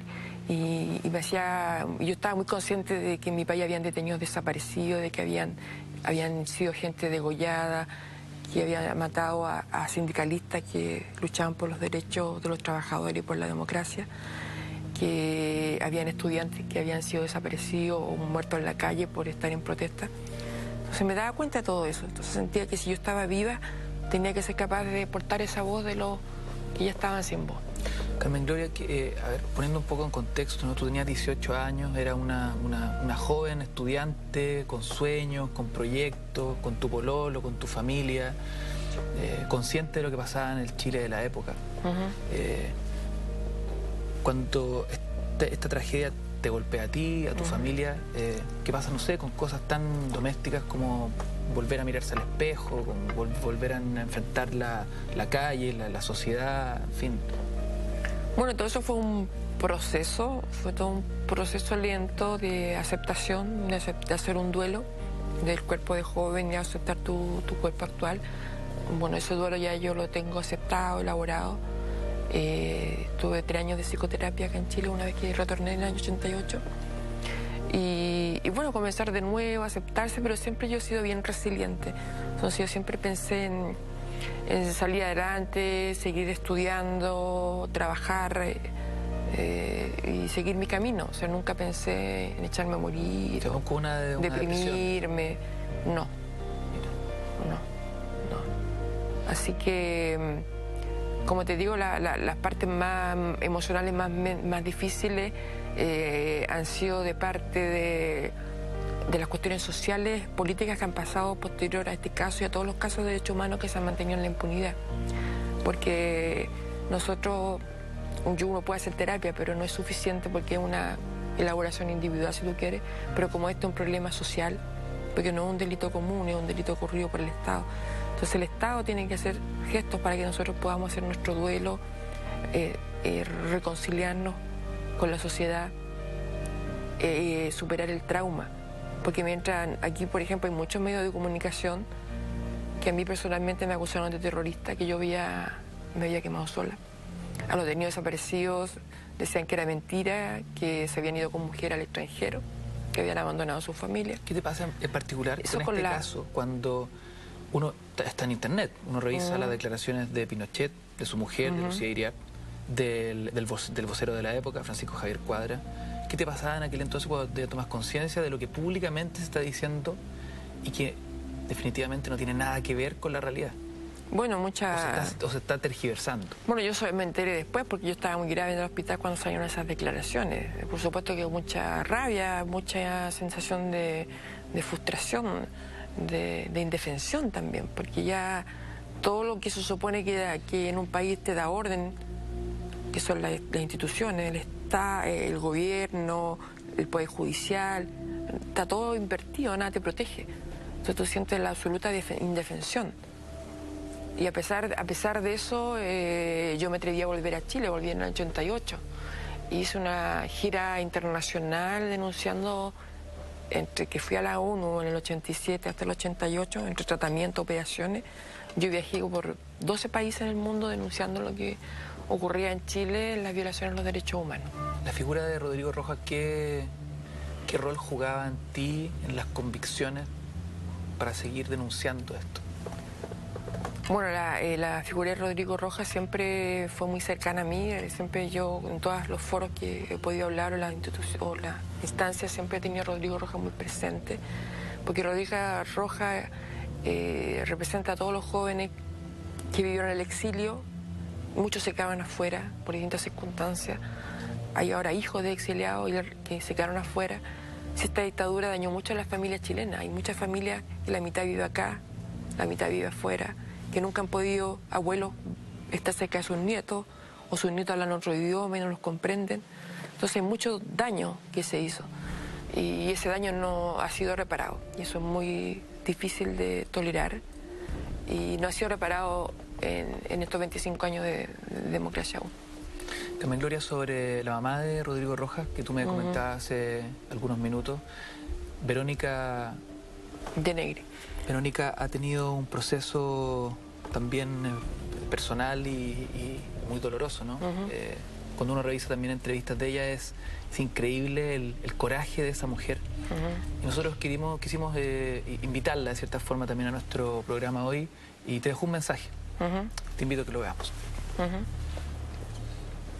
Cuando Rodrigo me dijo que iba a volver al país, a mí se me recogió el estómago, porque me dio un miedo espantoso. Mi hijo nunca ha estado ajeno a todo esto. Está aquí, conmigo. Está con su pueblo. Él tenía 19 cuando cometieron este horrendo, pero horrendo crimen. Con una vida por delante porque era era realmente, yo le decía a mi niño genio, porque realmente era un genio. Y con lo que me quedo de él, ese niño brillante, que manejaba una serie de, en primer lugar, la música, el arte en general, eh, eso de vivir apurado, por adelantado, como que quería saber todo, ¿no? El cientista, el que estaba preocupado por, eh, por las luchas de otros también, de otras naciones. El, el niño hermoso ese con una ternura. El profesional que amaba su fotografía por encima de todo. Que era fanático. Yo aprendía el trato de las fotografías con él. Por ejemplo, mis pinzas me desaparecían constantemente. Igual que los guantes desaparecían para tomar todo con cuidado. Eh, la perfección que buscaba cuando hacía el desarrollo, ¿no? Cómo con avidez leía los avances que habían en fotografía, en los líquidos, en los químicos que se usaban para los desarrollos. Puedo narrar miles de cosas. Su sensibilidad frente al dolor ajeno. Él se desarmaba con el dolor. A mí me cuenta, por ejemplo, la gente de la, de la población donde este crimen horrendo se comete, eh, cómo se desarmaba cuando los niños no tenían zapatos para ir al colegio, por ejemplo, o, los- no tenían calcetines, el frío que hacía, que no tenían la comida adecuada, que no tenían... Él se desarmaba con eso. Ese dolor está ahí igual, igual, igual que el 6 de julio del 86. Por eso que te decía antes, me robaron la vida, porque yo perdí mi juventud en esto. Yo, yo conocí a Carmen en Canadá, yo no la conocí aquí, porque ella estaba eh, en- en cuidados de quemado, pero no se podía ver. Y además mi tarea principal era asegurarme que yo podía sacar a los dos muchachos para que fueran tratados como correspondía. Ah. Pero no era solo mi lucha, era la de muchos chilenos. Tú no tienes idea cuánta gente, yo creo que a la Carmen le pasa lo mismo que a mí, nos para en la calle y nos da un abrazo, porque ellos también quieren justicia. Y de nuevo, no solo por Carmen y Rodrigo, por todas estas violaciones. ¿Quién puede negar el amor de Carmen? Porque además Carmen no solo entiende el amor entre ella y su familia, sino que es el amor para Chile. ¿No? ¿Quién puede negar todo lo que le tocó vivir? Y que lo sigue viviendo. ¿Quién puede negar eso? O sea, yo creo que la nación entera sabe lo que Carmen ha sufrido. La diferencia está en los que quieren entender y quieren que esto cambie y los que siguen luchando para esconder, mantener esa política siniestra de silenciar lo que nos hicieron. Lo que no se dan cuenta, que mientras mantengan el silencio, este país nunca va a salir adelante. Afortunadamente Carmen sobrevivió, porque ella es un testigo que nadie puede negar. Carmen Gloria, estamos juntas hasta las últimas consecuencias. Te quiero y te querré siempre. Gracias, Verónica. ¿Qué te gustaría decirle a, Verónica Carmen Gloria? Bueno, a Verónica yo es una mujer que admiro mucho, que la encuentro muy, muy valiente, eh, muy entera, muy fuerte. eh, una mujer que ha sufrido mucho, no solamente por su hijo, que yo, yo soy madre de tres niñas, para mí sería inconcebible que un hijo mío muriera. Y en esas circunstancias tan horribles, o sea, ni siquiera me puedo imaginar ese dolor. Y, bueno, decirle que estamos juntas en esta lucha y que ella tiene mucha razón cuando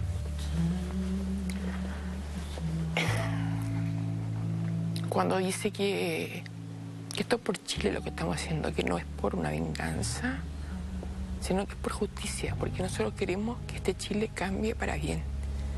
Queremos que este Chile se funde no en valores de mercado, de quién gana más, quién gana menos, sino que esté fundado en una democracia real, en una democracia que vuelva a los valores, a la verdad, a la justicia, a que vivamos una sociedad solidaria, donde todos tengamos las mismas oportunidades, donde podamos eh, los niños eh, tener las mismas condiciones de, de igualdad frente a la escuela, por ejemplo, ir a la escuela, que aprendan lo mismo que aprende un niño rico, que tengan salud al igual como la tiene un niño que puede pagar ISAPRE. O sea, son cosas tan básicas que uno aspira como, como ser humano. Yo creo que si este pueblo entiende que esta lucha por los derechos humanos es una lucha por cambiar los valores de esta sociedad, porque por fin volvamos a querernos, a ser solidarios entre nosotros. Yo creo que estamos muy individualistas en Chile, muy individualistas, cada uno preocupado de, de su pega, de no perderla. Y esto es todo responsabilidad de la dictadura, del, régimen neoliberal que, dejó instalado y que hemos sido incapaces de cambiarlo. Y es por eso que yo lamento mucho esta crisis política en que estamos, esta crisis de, confianza, de esta crisis de corrupción. Pero yo hago un llamado a toda la juventud y a todo el pueblo chileno a que participe, a que se involucre, que es la única forma de que cambiemos este país para bien. Es la única forma que vamos de una vez por todas eh, volver a, a sentirnos hermanos entre todos, a tener las mismas oportunidades entre todos y que las empresas entiendan que son parte de esta sociedad, que no están solo para usufructuar, están para servir al pueblo, para dar, para ayudarlo a crecer. No hacen un favor cuando dan trabajo, están cumpliendo con su deber. El que, el que está trabajando entrega su vida a eso y merece sueldos dignos. La empresa que deje de ser egoísta y tenga responsabilidad social frente al pueblo. Hay muchos valores que en este país están trastocados. Y esta lucha que nosotros estamos dando es una lucha actual. Es una lucha porque volvamos a nuestras bases de la democracia, la verdad, la justicia. Carmen Gloria, cuando tú me hablas de, de una lucha, me gustaría saber eh, en qué se convierte, en qué se transforma el dolor, eh, la rabia, eh, cuando estamos reconstruyendo lo que sucedió hace casi 30 años. Eh, vamos a tomarnos algunos minutitos para poder eh, bueno, tomar un poquito de agua y, y volver a conversar. Vamos a hacer una- un, un breve alto y volvemos con más mentiras verdaderas. Estamos con Carmen Gloria Quintana. Que se vayan.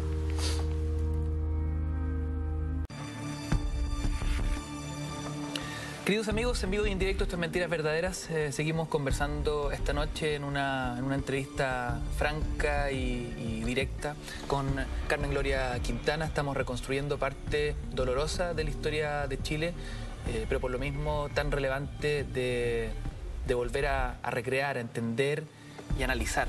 Carmen Gloria, te preguntaba antes de la pausa, ¿en qué se convierte la rabia, en qué se convierte el dolor? Eh, en qué se transforma con el paso de los años. Ya son 29 años. Bueno, yo soy una mujer eh, que tiene una vida normal. Soy casada, tengo tres tres hijas de 22, 16 y 9 años. ¿Tu marido te acompaña hoy? De Mi marido me acompaña hoy, está allá. Eh, tengo, soy psicóloga, me gusta mucho estudiar, por lo tanto he seguido posgrado, ahora estoy terminando un doctorado en la Universidad de Montreal. Soy una, una mujer, aunque no se crea, alegre, que me gusta gozar de la vida, eh, escuchar música, ir a restaurar, bailar. Eh, no me quitaron la alegría de vivir y disfruto mucho de ser madre, de ser esposa, de ser psicóloga. Y todo eso me, me hace muy feliz. Y bueno, y la, la, el dolor, este dolor es parte también de mi vida, el hecho de estar quemada es parte de la Carmen Gloria Quintana y el hecho de la impunidad también es parte de mi vida y esa es esa parte que, que duele mucho, sobre ¿Cómo- todo. ¿Cómo se conocieron con tu marido? Nos conocimos en la casa de un amigo, de un amigo en común que era hermano de mi mejor amiga de la secundaria. Acá en... eh, Aquí en Chile, en el año Acá en Santiago. 89 en Santiago. Yo había vuelto, yo volví de Canadá en el año 88 para luchar en el plebiscito, para que ganara el no. Y desde, desde ese día, desde que se conocieron, juntos hasta hoy. Sí, llevamos 22 años de, de casados. Por lo leamos al principio, vivimos juntos y después nos casamos. ¿Qué pasa, Carmen Gloria, con, con- con tus hijas? ¿Qué, qué pasa con eh, cuando ya van creciendo y empiezan a hacer preguntas, ¿no? De-. Bueno, para mi hija, como, como he contado ya, eh, ha sido todo un proceso de elaboración también de acuerdo a la edad que tienen, eh, de entender un poco qué es lo que pasa a la mamá y contar un poco la historia de Chile a través de la, de la mamá. Y lo más difícil... Esa ¿ah? discusión la tuviste con- contigo misma, me imagino, desde que, desde que fuiste mamá.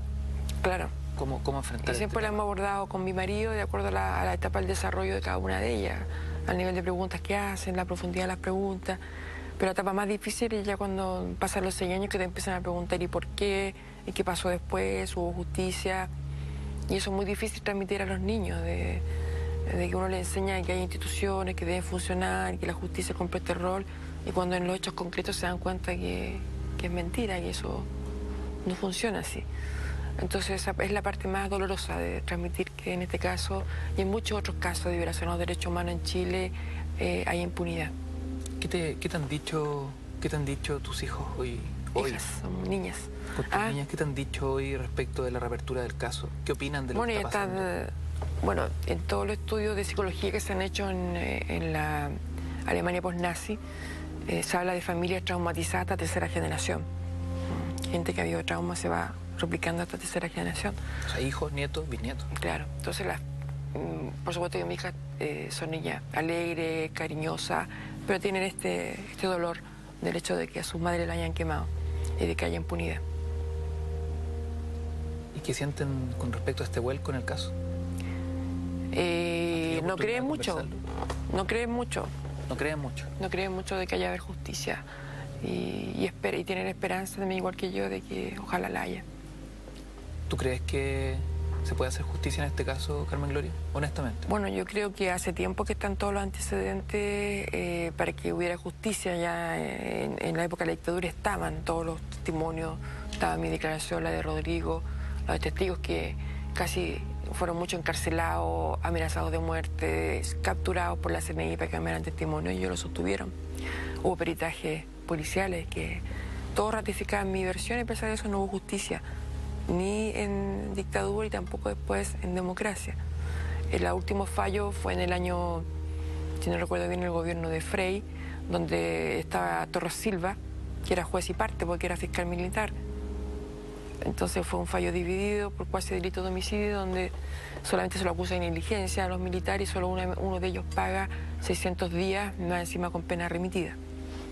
Entonces, la justicia para mí estaba muy lejos de alcanzar, pero al conocer al juez Carroza y saber la seriedad con que está llevando este caso, y también eh, ver que el Poder Judicial, a partir de la detención de Pinochet en Londres, empieza a cambiar de actitud y empiezan a investigar, eh, se, se- se están renovando mis esperanzas y espero que no, no se vean frustradas ni en mi caso ni en muchos otros casos de violación a los derechos humanos.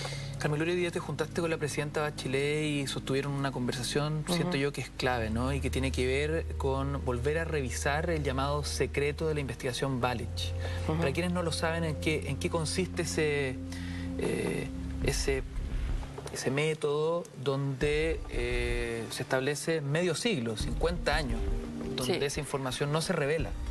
Bueno, en el gobierno de Elwin hubo la Comisión eh, de Verdad y Reconciliación que estableció la verdad respecto a todos los crímenes eh, de desaparecidos y ejecutados políticos. Eh, eso está ahí. Después está el informe Balech que se hizo en el gobierno de, Lagos, donde se que se llama informe de, de prisión política y tortura, donde aparecen todos los casos donde ha implicado militares, civiles, en torturas a personas que son sobrevivientes. Por lo menos hasta lo que yo sé, muchos de nosotros nunca se nos... Yo estoy en ese informe pues, como sobreviviente de la tortura.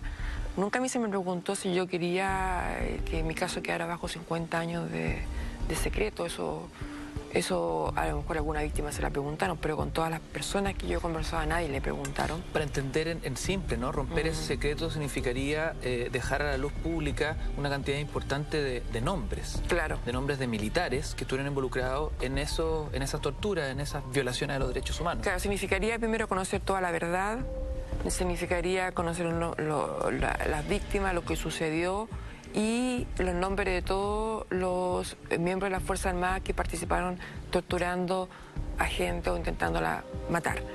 Entonces hay mucha gente que hasta el momento de hoy nació perseguida por la justicia. Entonces si esto se pone a la luz pública, eh, muchos, eh, muchas personas, presos políticos sobrevivientes, que viven en condiciones muy miserables con las reparaciones pobres que se les dieron, eh, puedan iniciar juicio contra esos perpetradores. Entonces por eso es importante que se devele esta, este informe eh, y que todos los chilenos estamos, yo lo que he sostenido es que nuestra democracia ya tiene 25 años, estamos sólidos ya y estamos, nuestro pueblo merece saber la verdad porque estos crímenes que se cometieron contra Rodrigo Rojas, Carmen Quintana, contra Tucapel Jiménez, los degollados, el campesino, el obrero, el estudiante, son crímenes que se cometieron contra todos los chilenos, porque era el Estado que estaba atentando contra los chilenos. Por tanto, todos los chilenos son Rodrigo Rojas, todos los chilenos son Carmen Quintana y necesitan, necesitamos saber la verdad de todo lo ocurrido como una manera pedagógica de que nunca más estas cosas vuelvan a suceder y trabajar en una memoria constructiva, una memoria que sirva a todos los chilenos para educarlos en derechos humanos, para que nunca más nadie sea violentado por tener ideas diferentes, eh, para que todo el pueblo conozca lo que sucedió, como todas las convenciones internacionales sobre derechos humanos lo hacen y lo mandatan, que todas estas comisiones tienen que develar la verdad y que tiene que ser de conocimiento público. Eh, Carmen Gloria, ¿qué, te sucede con eh, el estado de salud de Contreras eh, por estos días?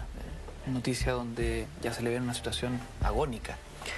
Bueno, primero que nada, deseo que ojalá se arrepintiera de todos los crímenes que hizo. él causó mucho dolor a mucha gente, a muchas familias, cuando torturó, cuando hizo desaparecer, cuando persiguió cuando asesinó a muchos chilenos y nunca tenido ningún grado de arrepentimiento, sino que más bien de disfrute de, lo que hacía. Y, también eh, haría un llamado a que lo hablé con la presidenta, a que todos los militares que están implicados en violación a los derechos humanos se los degrade, porque no es posible que los chilenos estemos pagando sueldo a asesinos que están todavía en la Fuerza Armada. Y menos una persona que está condenada por un delito grave que, que, muera siendo general. O sea, esto es un momento que quizás las Fuerzas Armadas no se han dado cuenta, que es una oportunidad. Cuando hay una crisis, uno o la toma para positivo o la toma para negativo. En este momento un momento de inflexión para nuestra sociedad. Ya basta ya de justicia en la medida de lo posible. Y digo que es una oportunidad para las Fuerzas Armadas porque es el momento en que las Fuerzas Armadas se desmarque lo que fue la dictadura y entregue todos los antecedentes que tiene, todos los archivos que tiene, los microfilms que tiene de todos los planes sistemáticos de violación a los derechos humanos, todos los crímenes están implicados, que entregue y ponga a disposición a todos los responsables y haga una refundación de la Fuerza Armada basada en la educación en derechos humanos, en el respeto a la vida y donde realmente se comprenda los fundamentos de la democracia. y también para la civilidad, para los políticos un momento, de que terminemos con todos los pactos, con todos los acuerdos, esta democracia ya sólida y los chilenos merecemos la verdad, merecemos la justicia y ya estamos cansados de, de buenas intenciones, de buenas palabras que nunca se concretizan en hechos. Nosotros pedimos acciones. Ya no, yo valoro la gente que me pide perdón y siento que muchos son sinceros, pero para que sean coherentes, como la ética o los estudiosos de la ética lo saben, el arrepentimiento, el pedir perdón tiene que ir acompañado de actos para que sea creíble.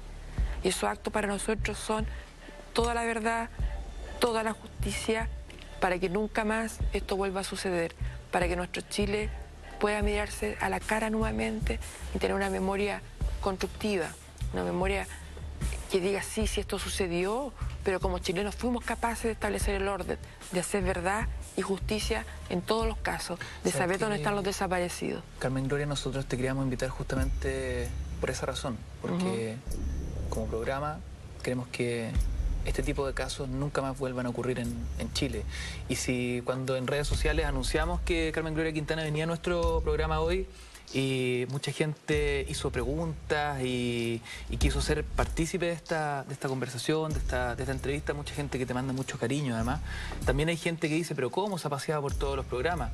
Esto no se trata ni de un golpe periodístico, ni de, ni de estar primero en la noticia, de estar primero en la noticia. Esto se trata de volver a construir un, un- un diálogo y un, y un discurso y volver a entender una historia que muchas veces olvidamos o muchos ni siquiera quieren verla para que nunca más vuelva a ocurrir esto en Chile.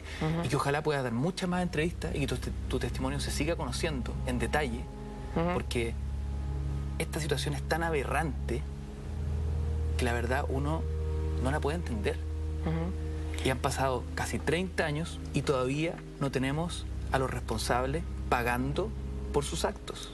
Y yo quisiera que... 30 años. Yo quisiera que, que no todo se focalice en este caso. O sea, yo el otro día estuve, como he contado en otros canales, en la conmemoración de la muerte de los 119 detenidos desaparecidos. Y el público ahí eran sus señoras, sus madres, que eran todas ancianas. Y todavía no saben dónde están los cuerpos de los detenidos desaparecidos. Entonces eso es cruel. Eso es cruel, porque esa información la tiene el ejército, la tiene la Fuerza Armada. Y lo tenemos clarísimo. Yo Y- estoy de acuerdo con el expresidente Lagos cuando él dice no hay, no hay casos emblemáticos de derechos humanos. Todos los casos son importantes y lo tenemos, lo tenemos muy claro. Pero sí que era importante conversar esta noche contigo. Estás de paso por Chile y era fundamental para nosotros poder tenerte aquí. Y ojalá que puedan a futuro entrevistar a otras personas que también hayan vivido situaciones parecidas, porque yo creo que la prensa también jugó, parte de la prensa, un rol muy nefasto en la dictadura. Mucha prensa, el diario Mercurio, que controla actualmente el 70% de la, de la prensa escrita, mentía, nos acusaba de terrorista, que nos habíamos quemado solos, decía que lo- los ejecutados se morían en enfrentamiento. Entonces la prensa jugó un rol nefasto en esa época, como también hubo medios alternativos que luchaban por la verdad, como Revista Análisis, Cauce, Teleanálisis, el Fortín Mapocho, que habría que hacerle un, un homenaje de parte de los periodistas a todo ello. Y yo llamo ahora a todos esos medios, al Mercurio, que estuvo, que hasta el día de hoy controla el 70% de la, de la prensa chilena, que todos los días dedica una, imagen, una página completa a cada una de las víctimas de la dictadura para reivindicar su imagen, que cuente quién era ese campesino que lo mataron allá en el, en el sur, cuál era su historia, cuál era su vida, en qué creía, quién era su familia, para que respondan a los mandatos del informe de verdad y reconciliación, de que se repare la imagen y se validen a nosotros. Yo le hago esa interpelación a Agustín Edward, que reivindique la imagen de las víctimas de las cuales él se rió, se burló y denostó. Eso. Gloria, te quiero agradecer eh, esta conversación con Mentiras Verdaderas. Nosotros como programa nos hacemos cargo, hacemos un breve alto y seguimos con, con más de esta noche de programa. Gracias, Carmen. Muchas gracias. Rodrigo Rojas en llamas, tu voz seguirá viviendo.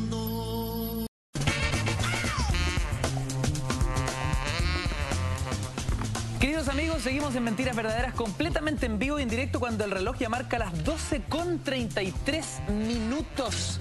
Vino aún sin censura y se contó tal cantidad de chistes cochinos que mató sin censura. Lo censuraron, po. Estamos con la botota Fox que viene acompañada de un par de chicas muy lindas. ¿ah? Ah, gracias. Que me hayan dicho que bonita. Oye, y decirle a toda la gente que nos estuvo esperando igual harto ratito, que igual fue muy linda la entrevista que tenían recién con la, con la señora. Carmen Gloria. Y con la Carmen Gloria, perdón. Y que nos estuvo esperando harto rato, porque íbamos a salir nosotros Bueno, y en todo. redes sociales ya la están rompiendo. Yo estoy preocupado porque Randy vino con un calzado muy particular. Me gustaría que lo mostráramos. Randy, ven para acá. Es que usa esos zapatos que usa la gente coja. Es un detalle, mira. Me quiere, me quiere dejar en una condición muy disminuida, Randy. Eh, Te los cambio. Claro. Claro, ¿se lo podría poner? ¿Qué pasa? Sí, ahora, ahora, Randy, vamos a ver cómo se sienta. Mira, señor director. Ay, ay, oh, oh. Eso, me- Oye, pero lo que- al tiro, ¿ah? Va. El hashtag está abierto, ahí está, mira. Ah, ¿cuál es? Juego Botota Botota MB, MB. homenajeando el Juego juego Botota Botota MB. MB en eh, ¡Vamos! las redes sociales. Y recuerden que llegaron los días de descuentos a despegar.com con ofertas de hasta un 50% de descuento y son por pocos días. ¿Quieres viajar? Apúrate. Volvieron los días de descuento de Aprovecha hasta 50% de descuento solo por pocos días. Además, pagan 6 cuotas sin interés con todas las tarjetas de crédito bancarias. No te pierdas los días de descuento de despegar.com con ofertas increíbles. Despegar.com. Viajar es posible. Aprovecha y compra en despegar.com vuelos, paquetes, hoteles, cruceros y mucho más en seis cuotas sin interés con todas las tarjetas de crédito bancarias. Exclusivo en despegar.com. Viajar por Chile y todo el mundo, ojo, solo hasta el 31 de julio. Despegar.com en mentiras verdaderas. Ya está con nosotros la Botota y sus chicas. Oye, Botota, a ver, Qué lindo viajar por Chile, oye. Qué lindo viajar por Chile. viajar Viajar por Chile. Oye, me fijé. Me No, fijando. a ver. Es que tenéis doble cogida. ¿Por qué mejor no le ponen una silla guapa? No, déjame. ¿Te puedo contar algo? Yo sé que me vas a hacer bullying, que, que el asiento, que yo me quedo chico en el asiento. Eres Déjame- tan guapo que no, no podríamos No, bullying. Lo que pasa es que en la tele, para que la gente sepa, en la tele todos los asientos son súper lindos, pero Sí. son entero flight. No, y son incomodísimos. Mira, yo como Pero, esto. ¿Qué pasa Mira acá? cómo está la vieja y Puede podría. ver que este asiento que yo llevo acá cinco Es que meses. no. Mira, en cinco meses mira cómo, mira, mira cómo voy. no, mentira. Hay, hay que decir la verdad. Por favor, enfóqueme. Este, este cojín lo anda trayendo para todos lados. En una bolsa manija y después lo dobla y lo mete en un bolso. Lo anda trayendo. Es verdad, póntelo. Botota, me acabas de No, desemacar. Pero no, te ve, te, te ve muy bien. Da lo mismo el porte. mira. Oh, Ay, sí. Ahí sí. No, ahí es más grande. Claro, va Lo importante es el talento. Oye, Botota, ¿Ah? ¿cómo nació el juego de la Botota? Mira, el juego de la botota nació eh, en un momento que me habían sacado de otro programa de internet. ¿Ya? Que se llama Entre Diosa y Odiosa. Pero para, te despidieron de un programa de internet. Esto es nuevo para mí. O sea, no, me sacaron porque era, era como la línea editorial que estaban, que querían ellos eh, implementar en, Ah, ese, en ese perfecto. minuto. Más Opus Dei. No sé si en Opus Dei, en realidad era como...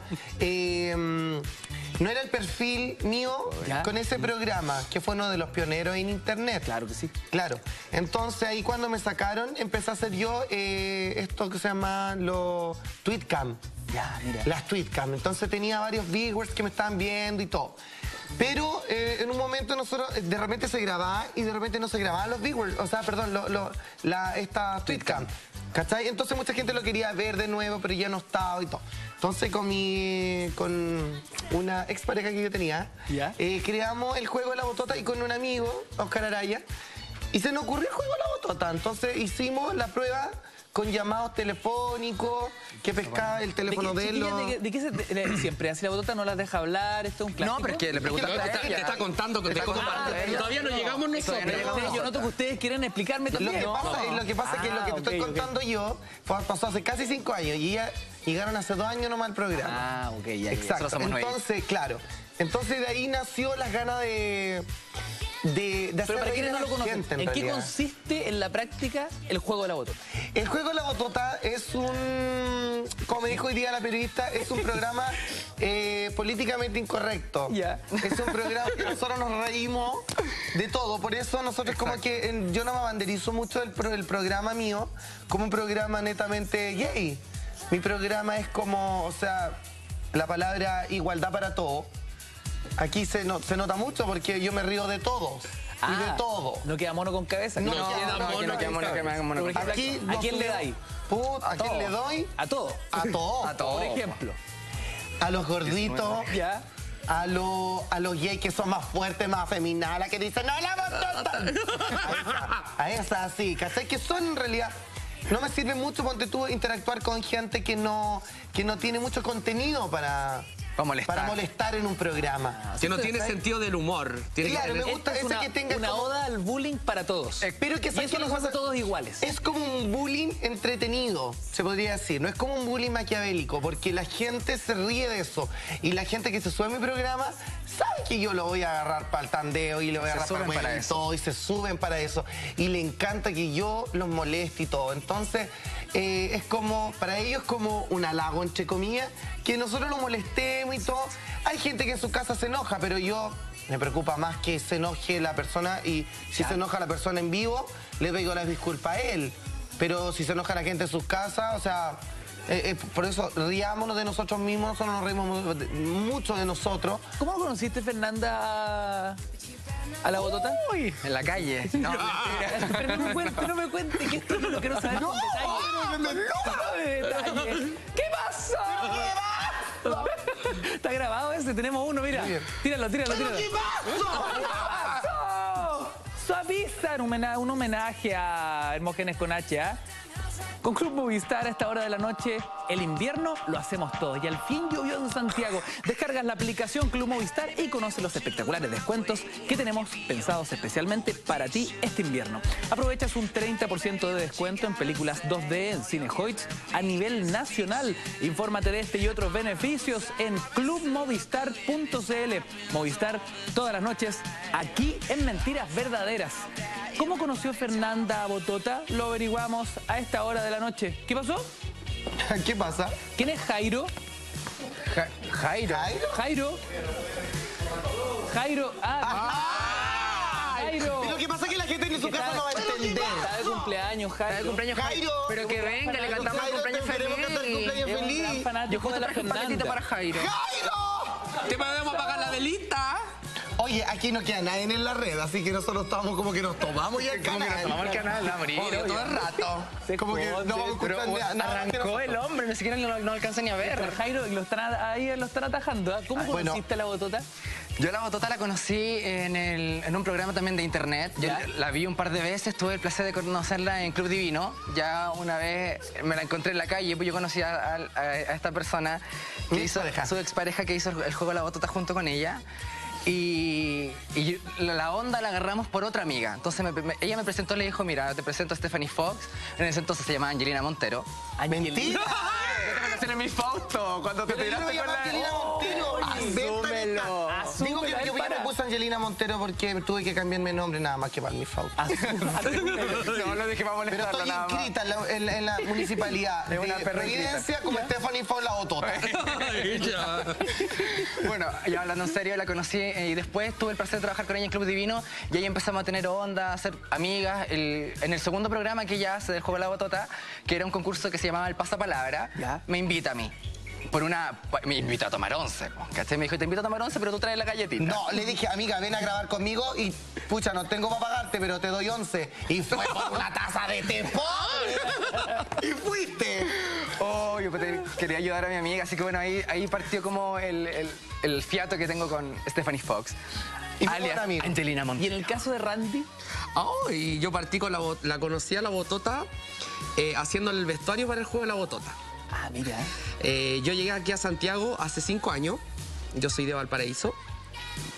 Y un día decidí- conocí a la botota eh, y le dije, botota, te ofrezco hacerte el vestuario para el programa. Y me dijo, ya me dijo.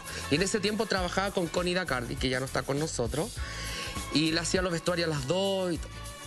Y ¿de eso ha pasado cuánto tiempo ya? Uh, ha pasado casi cuatro años. Cinco años. Cinco Cinco años. Desde que yo estoy en Santiago, le empecé a hacer la ropa a la botota. ¿Vosotros es cierto que cuando chica le teníais miedo a los travestis? Sí. ¿Es verdad? Yo también, yo también En le tenía miedo a los travestis. chico hemos tenido un trauma. po. A ver, pero ¿cómo? Es ¿Cómo que yo el igual que no era trauma. Yo lo que pasa es que yo como que veía siempre estos, estos reportajes en contacto y todo, que mostraban el travesti en la calle como agresor y todo súper... eh, Matón. como matón. Por ende, eh, eh, yo me, yo como que se va por esa imagen, po. Entonces cuando yo andaba en los Andes y veía a los travestis en la calle en los Andes, les digo que me, me, me daban mucho miedo. Y sobre todo cuando yo de tu salía en la noche a dar una vuelta, no sé, o, o, o- o- o salía con una tía y escuchaba a los travestis porque escuchaba así como ¡Hola! Y escuchaba eso y ella decía, aquí me van a pegar. Aquí te van a hacer algo, me van a Claro. saltar. Ay, te cagáis de miedo. Me cagaba de miedo, te lo juro Y que la soñ- Fernanda también un trauma con los travestis de chica. soñaba con Sí. travestis. Sí, yo soñaba con travestis, soñaba con la botota. No, eh, le tenía miedo a los travestis, pero era netamente porque cuando yo pasábamos en el auto por alguna zona donde habían travestis, mi mamá era como, podía estar durmiendo y mi mamá, despierta, mira los travestis. Mira los travestis. Sí, y yo ¿qué pasaba? ¿Qué pasaba? Y, y era como La una conmoción ir en la calle y ver un travesti. Claro, Sí, pero- la gente es así, en realidad el, el chileno chacotero es así, como que ven algo en la calle y como ¡mira, mira! Era como en ese entonces, en estos años, yo te estoy hablando del 90. Eh, era ver un- una persona de otro color de piel. También era extraño en Chile ver un, ver un negrito, por ejemplo, ver- O, o encontrarte con una gitana. También eso te producía así como, ay, pero El rechazo. el rechazo. ¿Hoy día sienten que han cambiado las cosas? Sí, Totalmente. completamente. Vamos a ahondar en eso, a ver si han sufrido o no discriminación y para que podamos hablar de eso también. ¿ah? A esta hora de la noche queremos saludar a nuestros amigos de Hell. Quiero invitarlos a ver estas imágenes porque sabrán el origen de Hell Energy Drink. Ahí está. Minun lisäkur ulkosikin koko maailman. Tenistä mä lisäkäni sen oikein.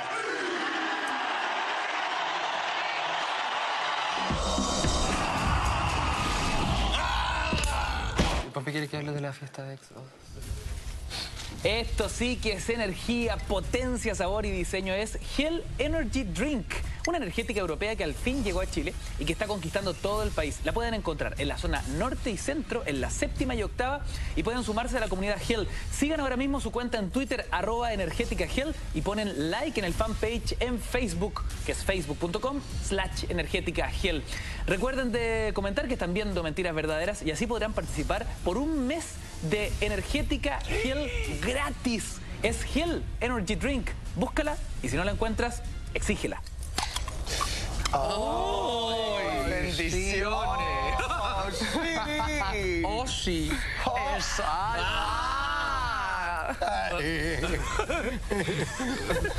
Oye, oye, chiquilla, pero honestamente, ¿se han sentido víctimas de la discriminación?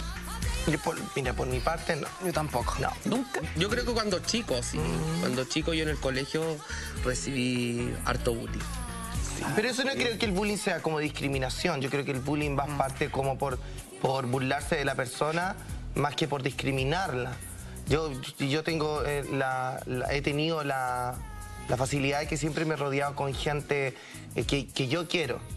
Anda, En el colegio yo me rodeaba con puras mujeres, por ende, y si alguien me molestaba, me importaba nada, porque yo decía, si yo la paso bien con mi grupo, entonces yo no me voy a ir a mezclar allá porque sé que me van a wear.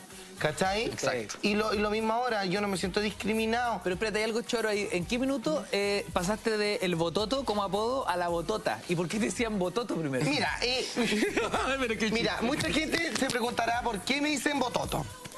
A todo esto para su televidente, dale, eh, informarle que por qué hay tres travestis aquí en este programa. Y dicen, ¿qué mierda están haciendo esos tres travestis? Gracias, Partamos de la base. Está- es está que claro, nosotros tenemos un programa por internet que se llama El Juego de la Botota. Le ha ido excelente, tiene más de eh, 6.000 reproducciones a la semana. Es un programa netamente eh, de risa para que la gente vaya entendiendo y vaya conociendo más lo que es El Juego de la Botota por YouTube. ¿Qué me preguntaste? ¿Cómo, cómo fuiste? ¿El bototo, Bototo. primero? ¿Por qué bototo? En ¿Y- el colegio- ¿Cómo pasaste a ser la botota? Mira, yo en el colegio, cuando llegué a los Andes, mi abuelo me compró bototo Ya. para el colegio. Entonces me dijo, los bototos están a durar invierno y verano, porque no se van a hacer tirar. Y ya bueno, dije, ya bueno.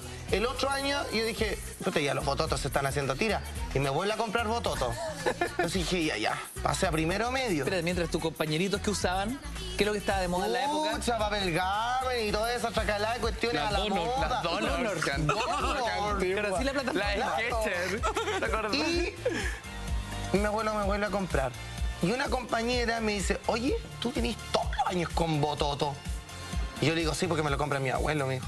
Te voy a poner bototo, mijo. Listo. Y me puso bototo, por, solo por eso. Pilar. Pilar Torres, Le una un compañera. a Le mando un saludo a Pilar Torres, que ella me puso bototo. Y después cuando yo me vine para Santiago, acá, o sea, igual en, en los Andes, cuando ya después me fui amujerando. Ah, ya no era el bototo, era la botota. Que hoy día ya vendría siendo la chala. La bota ya. La bota chala, chala. la bota chala. Pero continuó como la botota. Y me enorgullece totalmente eh, que, El que me apodo. distingan o el apoyo por la botota. Creo que una, es un, un apodo súper que, que queda en la, en la retina, que, que, que tú te acordáis, que decís la botota, la botota, pues weona, infeliz, la. ¿cachai? ¿De qué te se acuerda? Entonces, Un nombre propio. un nombre propio. Oiga, chiquilla, invitemos a la gente a que entren a YouTube y eh, para, que, para que sepan con qué se van a encontrar en el juego de la botota. Ojo que ya somos trending topic con nuestro hashtag juego botota mb Juego arroba botota. mentira en la red.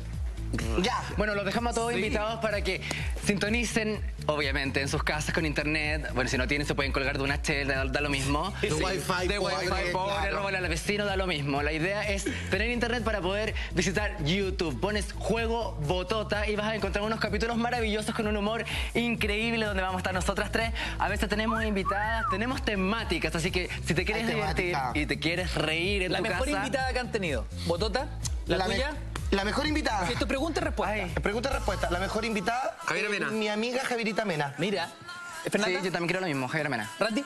Karen Paola ha estado también. Karen Paola también. Karen Paola, Sí, han ido Hemos, tenido hartas artistas. Karen Paola nunca está en el juego de la botota, Randy. Sí. ¿Qué estás hablando? Ay, ¡No bailé! Lo ¡Con ella! La excelencia de la gastronomía peruana con el mejor pisco sour de la capital, restaurante Pisco Sour, que está en Plaza Gaña 68. Pueden visitar piscosourplacegana.cl o llamar al fono delivery 228954751. Ya lo sabes, restaurante Pisco Sour, el mejor sabor peruano. Si mencionas mentiras verdaderas, automáticamente sí, 15% de descuento. Suave. Chiquillas se pasaron, ¿ah? Natalia Rica Cueva la estuvo también. La Natalia Pero Cueva. ella estuvo, Natalia Cueva vestida de Karen Paola. Eso fue. Eh, ah, Ay, sálvala. exquisita la comida peruana. Ah, Sí, muy rico. Oye, se nos fue el programa, miren los amigos del Mira, mucha gente- pero Nosotros seguimos conversando acá. Oye, mucha gente se Eduardo de la Iglesia al otro lado. Gracias a todos ustedes que nos estuvieron eh, En viendo. Twitter este sigan comentándose aquí, Gracias a todos. Le mando un la besito a mi pueblo que está en Antofagasta. Sí, a mi, pareja también. De los Oye, chiquillos de The Switch, porque se nos viene The Switch eh, por las pantallas del Mega. Hasta Oye, y bonito. recuerden a la gente que se viene la octava temporada del juego de la botota. Y se nos Oye, viene la fiesta.